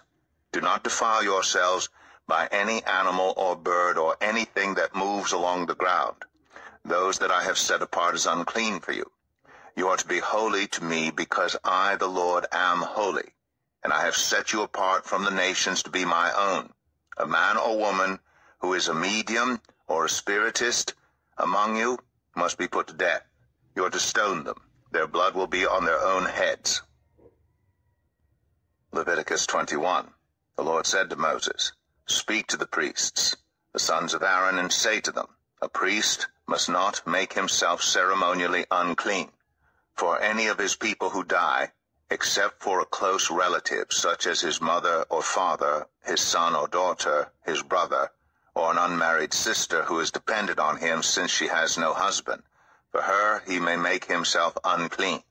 He must not make himself unclean for people related to him by marriage, and so defile himself. Priests must not shave their heads or shave off the edges of their beards or cut their bodies. They must be holy to their God, and must not profane the name of their God, because they present the food offerings to the Lord, the food of their God, they are to be holy. They must not marry women defiled by prostitution or divorced from their husbands, because priests are holy to their God. Regard them as holy, because they offer up the food of your God. Consider them holy, because I, the Lord, am holy. I, who make you holy. If a priest's daughter defiles herself by becoming a prostitute, she disgraces her father. She must be burned in the fire. The high priest, the one among his brothers who has had the anointing oil poured on his head, and who has been ordained to wear the priestly garments, must not let his hair become unkempt or tear his clothes. He must not enter a place where there is a dead body. He must not make himself unclean, even for his father or mother nor leave the sanctuary of his God or desecrate it, because he has been dedicated by the anointing oil of his God. I am the Lord. The woman he marries must be a virgin. He must not marry a widow, a divorced woman, or a woman defiled by prostitution, but only a virgin from his own people, so that he will not defile his offspring among his people. I am the Lord who makes him holy. The Lord said to Moses, Say to Aaron, for the generations to come, none of your descendants who has a defect may come near to offer the food of his God. No man who has any defect may come near. No man who is blind or lame, disfigured or deformed. No man with a crippled foot or hand, or who is a hunchback or a dwarf, or who has any eye defect, or who has festering or running sores or damaged testicles no descendant of Aaron the priest who has any defect is to come near to present the food offerings to the Lord. He has a defect. He must not come near to offer the food of his God. He may eat the most holy food of his God, as well as the holy food, yet because of his defect, he must not go near the curtain or approach the altar and so desecrate my sanctuary. I am the Lord who makes them holy. So Moses told this to Aaron and his sons, and to all the Israelites. Leviticus 22 The Lord said to Moses, Tell Aaron and his sons to treat with respect the sacred offerings the Israelites consecrate to me, so they will not profane my holy name. I am the Lord. Say to them, For the generations to come, if any of your descendants is ceremonially unclean and yet comes near the sacred offerings that the Israelites consecrate to the Lord, that person must be cut off from my presence. I am the Lord. If a descendant of Aaron has a defiling skin disease or a bodily discharge, he may not eat the sacred offerings until he is cleansed. He will also be unclean if he touches something defiled by a corpse or by anyone who has an emission of semen or if he touches any crawling thing that makes him unclean, or any person who makes him unclean, whatever the uncleanness may be. The one who touches any such thing will be unclean till evening. He must not eat any of the sacred offerings unless he has bathed himself with water. When the sun goes down, he will be clean, and after that he may eat the sacred offerings, for they are his food. He must not eat anything found dead or torn by wild animals, and so become unclean through it. I am the Lord. The priests are to perform my service in such a way that they do not become guilty and die for treating it with contempt. I am the Lord who makes them holy. No one outside a priest's family may eat the sacred offerings, nor may the guest of a priest or his hired worker eat it. But if a priest buys a slave with money, or if slaves are born in his household, they may eat his food. If a priest's daughter marries anyone other than a priest, she may not eat any of the sacred contributions. But if a priest's daughter becomes a widow or is divorced, yet has no children, and she returns to live in her father's household as in her youth, she may eat her father's food. No unauthorized person, however, may eat it. Anyone who eats a sacred offering by mistake must make restitution to the priest for the offering and add a fifth of the value to it. The priests must not desecrate the sacred offerings the Israelites present to the Lord by allowing them to eat the sacred offerings and so bring upon them guilt requiring payment. I am the Lord who makes them holy. The Lord said to Moses, Speak to Aaron and his sons, and to all the Israelites, and say to them, If any of you, whether an Israelite or a foreigner residing in Israel, presents a gift for a burnt offering to the Lord, either to fulfill a vow or as a freewill offering, you must present a male without defect from the cattle, sheep, or goats in order that it may be accepted on your behalf. Do not bring anything with a defect, because it will not be accepted on your behalf. When anyone brings from the herd or flock a fellowship offering to the Lord to fulfill a special vow, or as a free will offering, it must be without defect or blemish to be acceptable. Do not offer to the Lord the blind, the injured, or the maimed, or anything with warts or festering or running sores. Do not place any of these on the altar as a food offering presented to the Lord. You may, however, present as a freewill offering an ox or a sheep that is deformed or stunted, but it will not be accepted in fulfillment of a vow. You must not offer to the Lord an animal whose testicles are bruised, crushed, torn, or cut. You must not do this in your own land, and you must not accept such animals from the hand of a foreigner and offer them as the food of your God. They will not be accepted on your behalf, because they are deformed and have defects. The Lord said to Moses, When a calf, a lamb, or a goat is born, it is to remain with its mother for seven days. From the eighth day on, it will be acceptable as a food offering presented to the Lord. Do not slaughter a cow or a sheep and its young on the same day. When you sacrifice a thank offering to the Lord, sacrifice it in such a way that it will be accepted on your behalf. It must be eaten that same day. Leave none of it till morning. I am the Lord. Keep my commands and follow them. I am the Lord. Do not profane my holy name for I must be acknowledged as holy by the Israelites. I am the Lord who made you holy and who brought you out of Egypt to be your God. I am the Lord. Leviticus 23 The Lord said to Moses, Speak to the Israelites and say to them, These are my appointed festivals, the appointed festivals of the Lord, which you are to proclaim as sacred assemblies. There are six days when you may work, but the seventh day is a day of Sabbath rest, a day of sacred assembly. You are not to do any work. Wherever you live, it is a Sabbath to the Lord. These are the Lord's appointed festivals. The sacred assemblies you are to proclaim at their appointed times. The Lord's Passover begins at twilight on the fourteenth day of the first month. On the fifteenth day of that month, the Lord's festival of unleavened bread begins. For seven days you must eat bread made without yeast. On the first day hold a sacred assembly and do no regular work. For seven days present a food offering to the Lord, and on the seventh day hold a sacred assembly and do no regular work.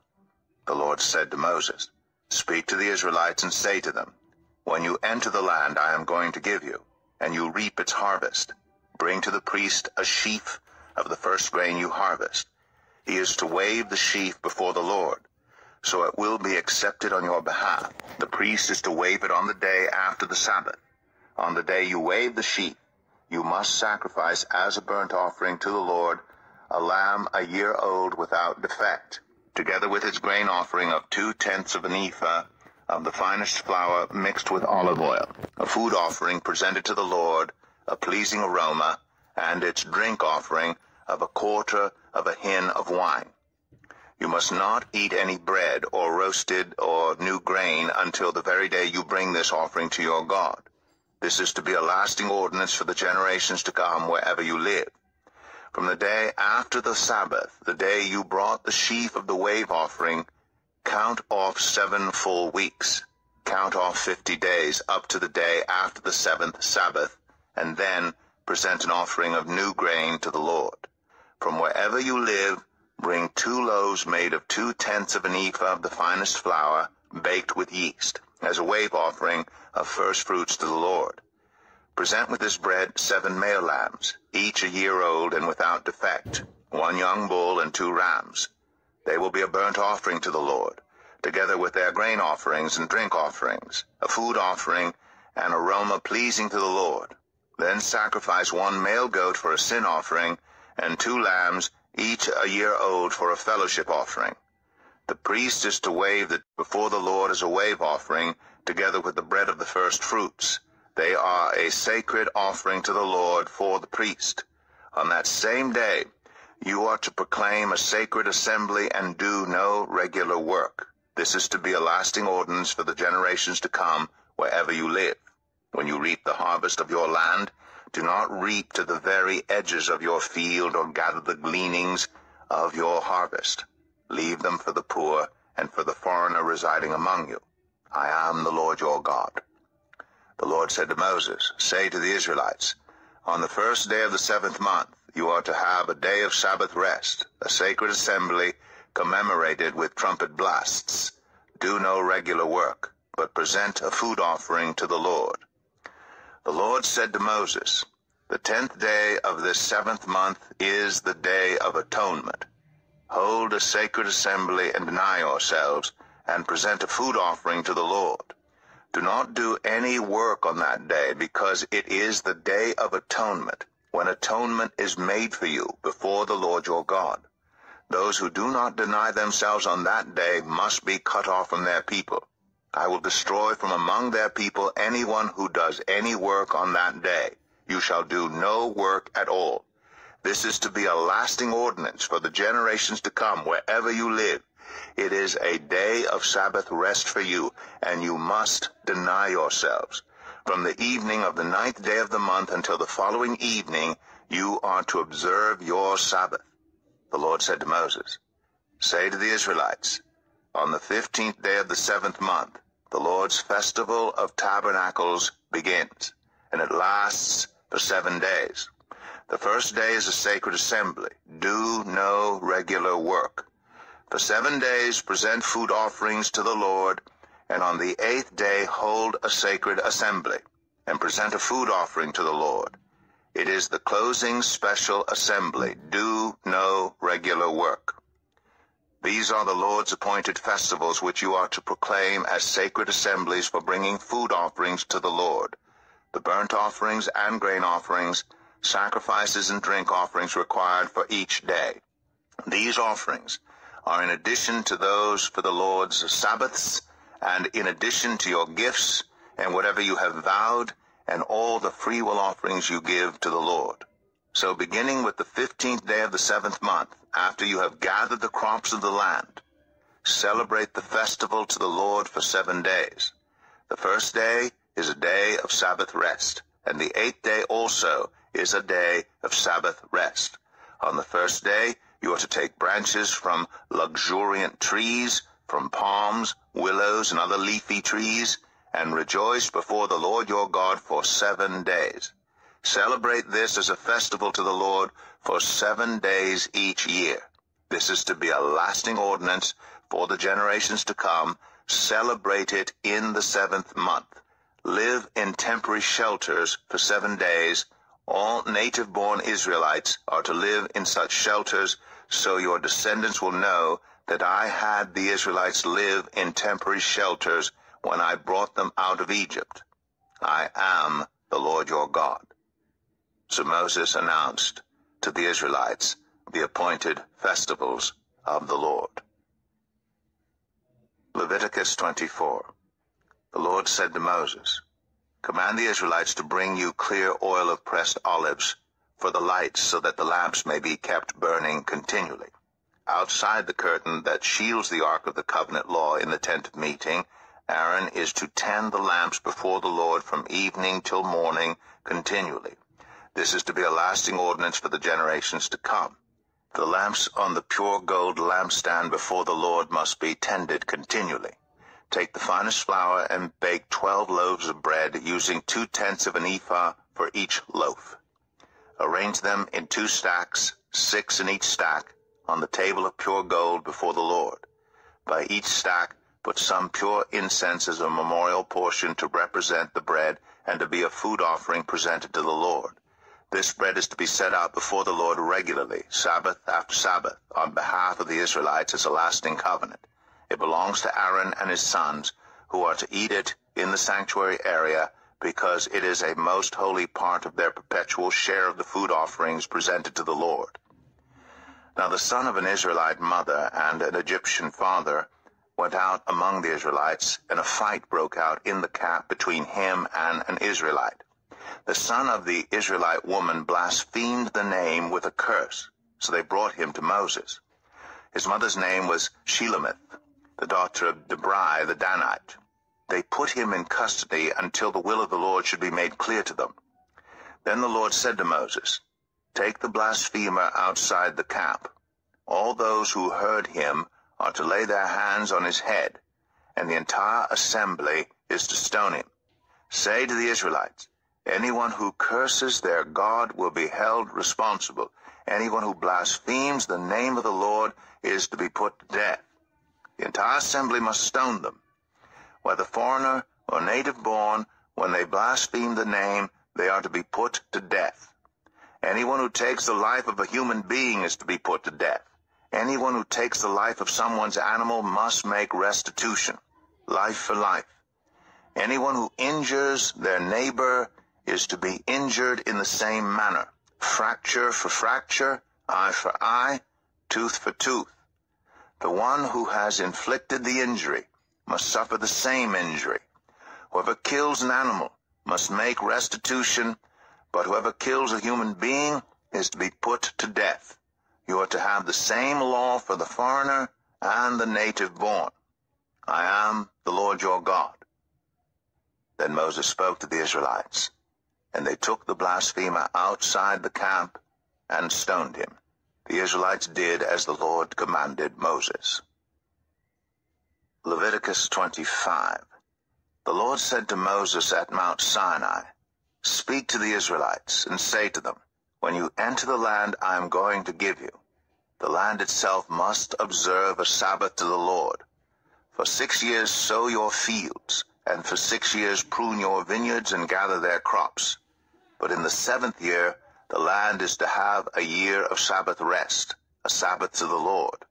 Do not sow your fields or prune your vineyards. Do not reap what grows of itself, or harvest the grapes of your untended vines. The land is to have a year of rest. Whatever the land yields during the Sabbath year will be food for you, for yourself, your male and female servants, and the hired worker and temporary resident who live among you, as well as for your livestock and the wild animals in your land. Whatever the land produces may be eaten. Count off seven Sabbath years, seven times seven years, so that the seven Sabbath years amount to a period of forty-nine years. And have the trumpets sounded everywhere on the tenth day of the seventh month, on the day of atonement, sound the trumpet throughout your land. Consecrate the fiftieth year, and proclaim liberty throughout the land to all its inhabitants. It shall be a jubilee for you. Each of you is to return to your family property and to your own clan, the fiftieth year shall be a jubilee for you. Do not sow, and do not reap what grows of itself, or harvest the untended vines. For it is a jubilee, and is to be holy for you. Eat only what is taken directly from the fields. In this year of Jubilee, every one is to return to their own property. If you sell land to any of your own people or buy land from them, do not take advantage of each other. You are to buy from your own people on the basis of the number of years since the Jubilee, and they are to sell to you on the basis of the number of years left for harvesting crops. When the years are many, you are to increase the price, and when the years are few, you are to decrease the price, because what is really being sold to you is the number of crops. Do not take advantage of each other, but fear your God. I am the Lord your God. Follow my decrees, and be careful to obey my laws, and you will live safely in the land. Then the land will yield its fruit, and you will eat your fill and live there in safety. You may ask, What will we eat in the seventh year if we do not plant or harvest our crops? I will send you such a blessing in the sixth year that the land will yield enough for three years. While you plant during the eighth year, you will eat from the old crop and will continue to eat from it until the harvest of the ninth year comes in. The land must not be sold permanently because the land is mine, and you reside in my land as foreigners and strangers. Throughout the land that you hold as a possession, you must provide for the redemption of the land. If one of your fellow Israelites becomes poor and sells some of their property, their nearest relative is to come and redeem what they have sold. If, however, there is no one to redeem it for them, but later on they prosper and acquire sufficient means to redeem it themselves, they are to determine the value for the years since they sold it and refund the balance to the one to whom they sold it. They can then go back to their own property.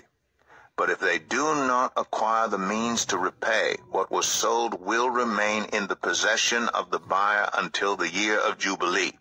It will be returned in the Jubilee, and they can then go back to their property. Anyone who sells a house in a walled city retains the right of redemption a full year after its sale. During that time, the seller may redeem it. If it is not redeemed before a full year has passed, the house in the walled city shall belong permanently to the buyer and the buyer's descendants. It is not to be returned in the Jubilee. But houses in villages without walls around them are to be considered as belonging to the open country. They can be redeemed, and they are to be returned in the Jubilee. The Levites always have the right to redeem their houses in the Levitical towns which they possess. So the property of the Levites is redeemable, that is, a house sold in any town they hold and is to be returned in the Jubilee, because the houses in the towns of the Levites are their property among the Israelites. But the pasture land belonging to their towns must not be sold. It is their permanent possession. If any of our fellow Israelites become poor and are unable to support themselves among you, help them as you would a foreigner and stranger, so they can continue to live among you. Do not take interest or any profit from them, but fear your God, so that they may continue to live among you. You must not lend them money at interest or sell them food at a profit. I am the Lord your God, who brought you out of Egypt to give you the land of Canaan and to be your God. If any of your fellow Israelites become poor and sell themselves to you, do not make them work as slaves. They are to be treated as hired workers or temporary residents among you. They are to work for you until the year of Jubilee. Then they and their children are to be released, and they will go back to their own clans and to the property of their ancestors, because the Israelites are my servants, whom I brought out of Egypt. They must not be sold as slaves. Do not rule over them ruthlessly, but fear your God. Your male and female slaves are to come from the nations around you. From them you may buy slaves. You may also buy some of the temporary residents living among you and members of their clans born in your country, and they will become your property. You can bequeath them to your children as inherited property and can make them slaves for life, but you must not rule over your fellow Israelites ruthlessly. If a foreigner residing among you becomes rich and any of your fellow Israelites become poor and sell themselves to the foreigner, or to a member of the foreigner's clan, they retain the right of redemption after they have sold themselves. One of their relatives may redeem them. An uncle or a cousin or any blood relative in their clan may redeem them. Or if they prosper, they may redeem themselves. They and their buyer are to count the time from the year they sold themselves up to the year of Jubilee. The price for their release is to be based on the rate paid to a hired worker for that number of years. If many years remain, they must pay for their redemption a larger share of the price paid for them. If only a few years remain until the year of Jubilee, they are to compute that and pay for their redemption accordingly. They are to be treated as hired workers from year to year. You must see to it that those to whom they owe service do not rule over them ruthlessly. Even if someone is not redeemed in any of these ways, they and their children are to be released in the year of Jubilee. For the Israelites belong to me as servants. They are my servants, whom I brought out of Egypt. I am the Lord your God. Leviticus 26 Do not make idols or set up an image or a sacred stone for yourselves, and do not place a carved stone in your land to bow down before it. I am the Lord your God. Observe my Sabbaths and have reverence for my sanctuary. I am the Lord. If you follow my decrees and are careful to obey my commands, I will send you rain in its season, and the ground will yield its crops, and the trees their fruit. Your threshing will continue until grape harvest, and the grape harvest will continue until planting, and you will eat all the food you want, and live in safety in your land. I will grant peace in the land, and you will lie down, and no one will make you afraid. I will remove wild beasts from the land, and the sword will not pass through your country. You will pursue your enemies, and they will fall by the sword before you. Five of you will chase a hundred, and a hundred of you will chase ten thousand, and your enemies will fall by the sword before you. I will look on you with favor, and make you fruitful and increase your numbers, and I will keep my covenant with you. You will still be eating last year's harvest when you will have to move it out to make room for the new. I will put my dwelling place among you, and I will not abhor you. I will walk among you and be your God, and you will be my people. I am the Lord your God, who brought you out of Egypt, so that you would no longer be slaves to the Egyptians. I broke the bars of your yoke, and enabled you to walk with heads held high. But if you will not listen to me, and carry out all these commands, and if you reject my decrees and abhor my laws, and fail to carry out all my commands, and so violate my covenant, then I will do this to you. I will bring on you sudden terror, wasting diseases, and fever that will destroy your sight and sap your strength. You will plant seed in vain, because your enemies will eat it. I will set my face against you, so that you will be defeated by your enemies. Those who hate you will rule over you, and you will flee even when no one is pursuing you. If after all this you will not listen to me, I will punish you for your sins seven times over. I will break down your stubborn pride, and make the sky above you like iron, and the ground beneath you like bronze. Your strength will be spent in vain, because your soil will not yield its crops, nor will the trees of your land yield their fruit. If you remain hostile toward me, and refuse to listen to me, I will multiply your afflictions seven times over, as your sins deserve. I will send wild animals against you, and they will rob you of your children, destroy your cattle, and make you so few in number that your roads will be deserted. If in spite of these things you do not accept my correction, but continue to be hostile toward me, I myself will be hostile toward you, and will afflict you for your sins seven times over. And I will bring the sword on you to avenge the breaking of the covenant. When you withdraw into your cities, I will send a plague among you, and you will be given into enemy hands. When I cut off your supply of bread, ten women will be able to bake your bread in one oven, and they will dole out the bread by weight. You will eat, but you will not be satisfied. If in spite of this you still do not listen to me, but continue to be hostile toward me, then in my anger I will be hostile toward you, and I myself will punish you for your sins seven times over. You will eat the flesh of your sons and the flesh of your daughters. I will destroy your high places, cut down your incense altars, and pile your dead bodies on the lifeless forms of your idols, and I will abhor you. I will turn your cities into ruins and lay waste your sanctuaries, and I will take no delight in the pleasing aroma of your offerings. I myself will lay waste the land, so that your enemies who live there will be appalled. I will scatter you among the nations, and will draw out my sword and pursue you. Your land will be laid waste, and your cities will lie in ruins. Then the land will enjoy its Sabbath years all the time that it lies desolate, and you are in the country of your enemies. Then the land will rest and enjoy its Sabbaths. All the time that it lies desolate, the land will have the rest it did not have during the Sabbaths you lived in it. As for those of you who are left, I will make their hearts so fearful in the lands of their enemies that the sound of a wind-blown leaf will put them to flight. They will run as though fleeing from the sword, and they will fall even though no one is pursuing them. They will stumble over one another as though fleeing from the sword, even though no one is pursuing them. So you will not be able to stand before your enemies.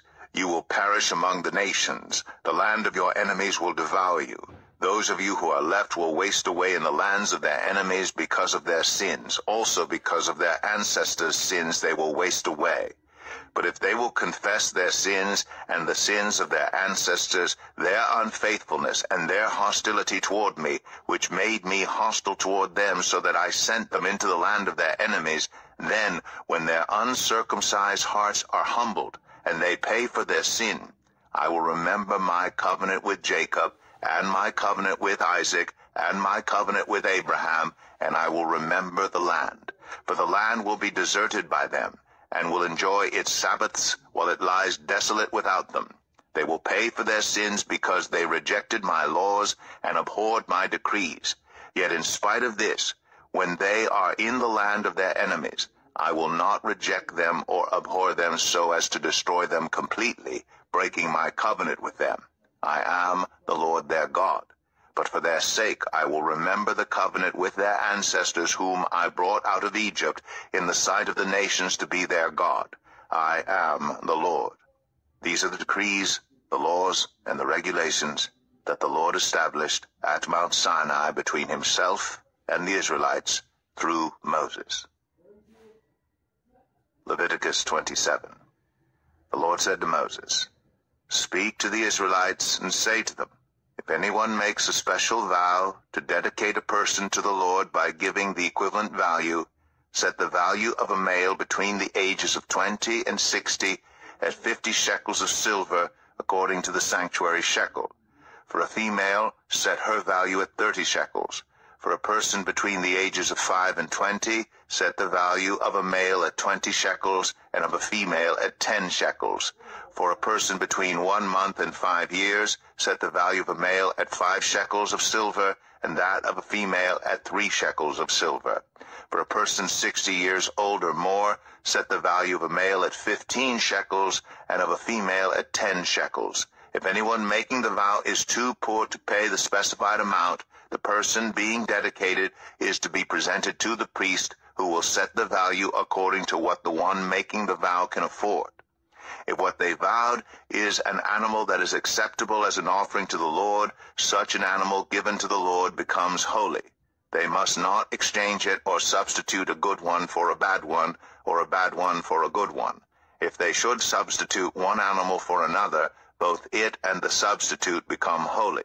If what they vowed is a ceremonially unclean animal, one that is not acceptable as an offering to the Lord, the animal must be presented to the priest, who will judge its quality as good or bad. Whatever value the priest then sets, that is what it will be. If the owner wishes to redeem the animal, a fifth must be added to its value. If anyone dedicates their house as something holy to the Lord, the priest will judge its quality as good or bad. Whatever value the priest then sets, so it will remain. If the one who dedicates their house wishes to redeem it, they must add a fifth to its value, and the house will again become theirs. If anyone dedicates to the Lord part of their family land, its value is to be set according to the amount of seed required for it, fifty shekels of silver to a homer of barley seed. If they dedicate a field during the year of Jubilee, the value that has been set remains. But if they dedicate a field after the Jubilee, the priest will determine the value according to the number of years that remain until the next year of Jubilee, and its set value will be reduced. If the one who dedicates the field wishes to redeem it, they must add a fifth to its value, and the field will again become theirs. If, however, they do not redeem the field, or if they have sold it to someone else, it can never be redeemed. When the field is released in the Jubilee, it will become holy like a field devoted to the Lord. It will become priestly property. If anyone dedicates to the Lord a field they have bought, which is not part of their family land, the priest will determine its value up to the year of Jubilee, and the owner must pay its value on that day as something holy to the Lord. In the year of Jubilee, the field will revert to the person from whom it was bought, the one whose land it was. Every value is to be set according to the sanctuary shekel, twenty gerahs to the shekel. No one, however, may dedicate the firstborn of an animal, since the firstborn already belongs to the Lord, whether an ox or a sheep, it is the Lord's. If it is one of the unclean animals, it may be bought back at its set value, adding a fifth of the value to it. If it is not redeemed, it is to be sold at its set value. But nothing that a person owns and devotes to the Lord, whether a human being or an animal or family land, may be sold or redeemed. Everything so devoted is most holy to the Lord. No person devoted to destruction may be ransomed. They are to be put to death. A tithe of everything from the land, whether grain from the soil or fruit from the trees, belongs to the Lord. It is holy to the Lord. Whoever would redeem any of their tithe must add a fifth of the value to it. Every tithe of the herd and flock, every tenth animal that passes under the shepherd's rod, will be holy to the Lord. No one may pick out the good from the bad or make any substitution. If anyone does make a substitution, both the animal and its substitute become holy and cannot be redeemed. These are the commands the Lord gave Moses at Mount Sinai for the Israelites.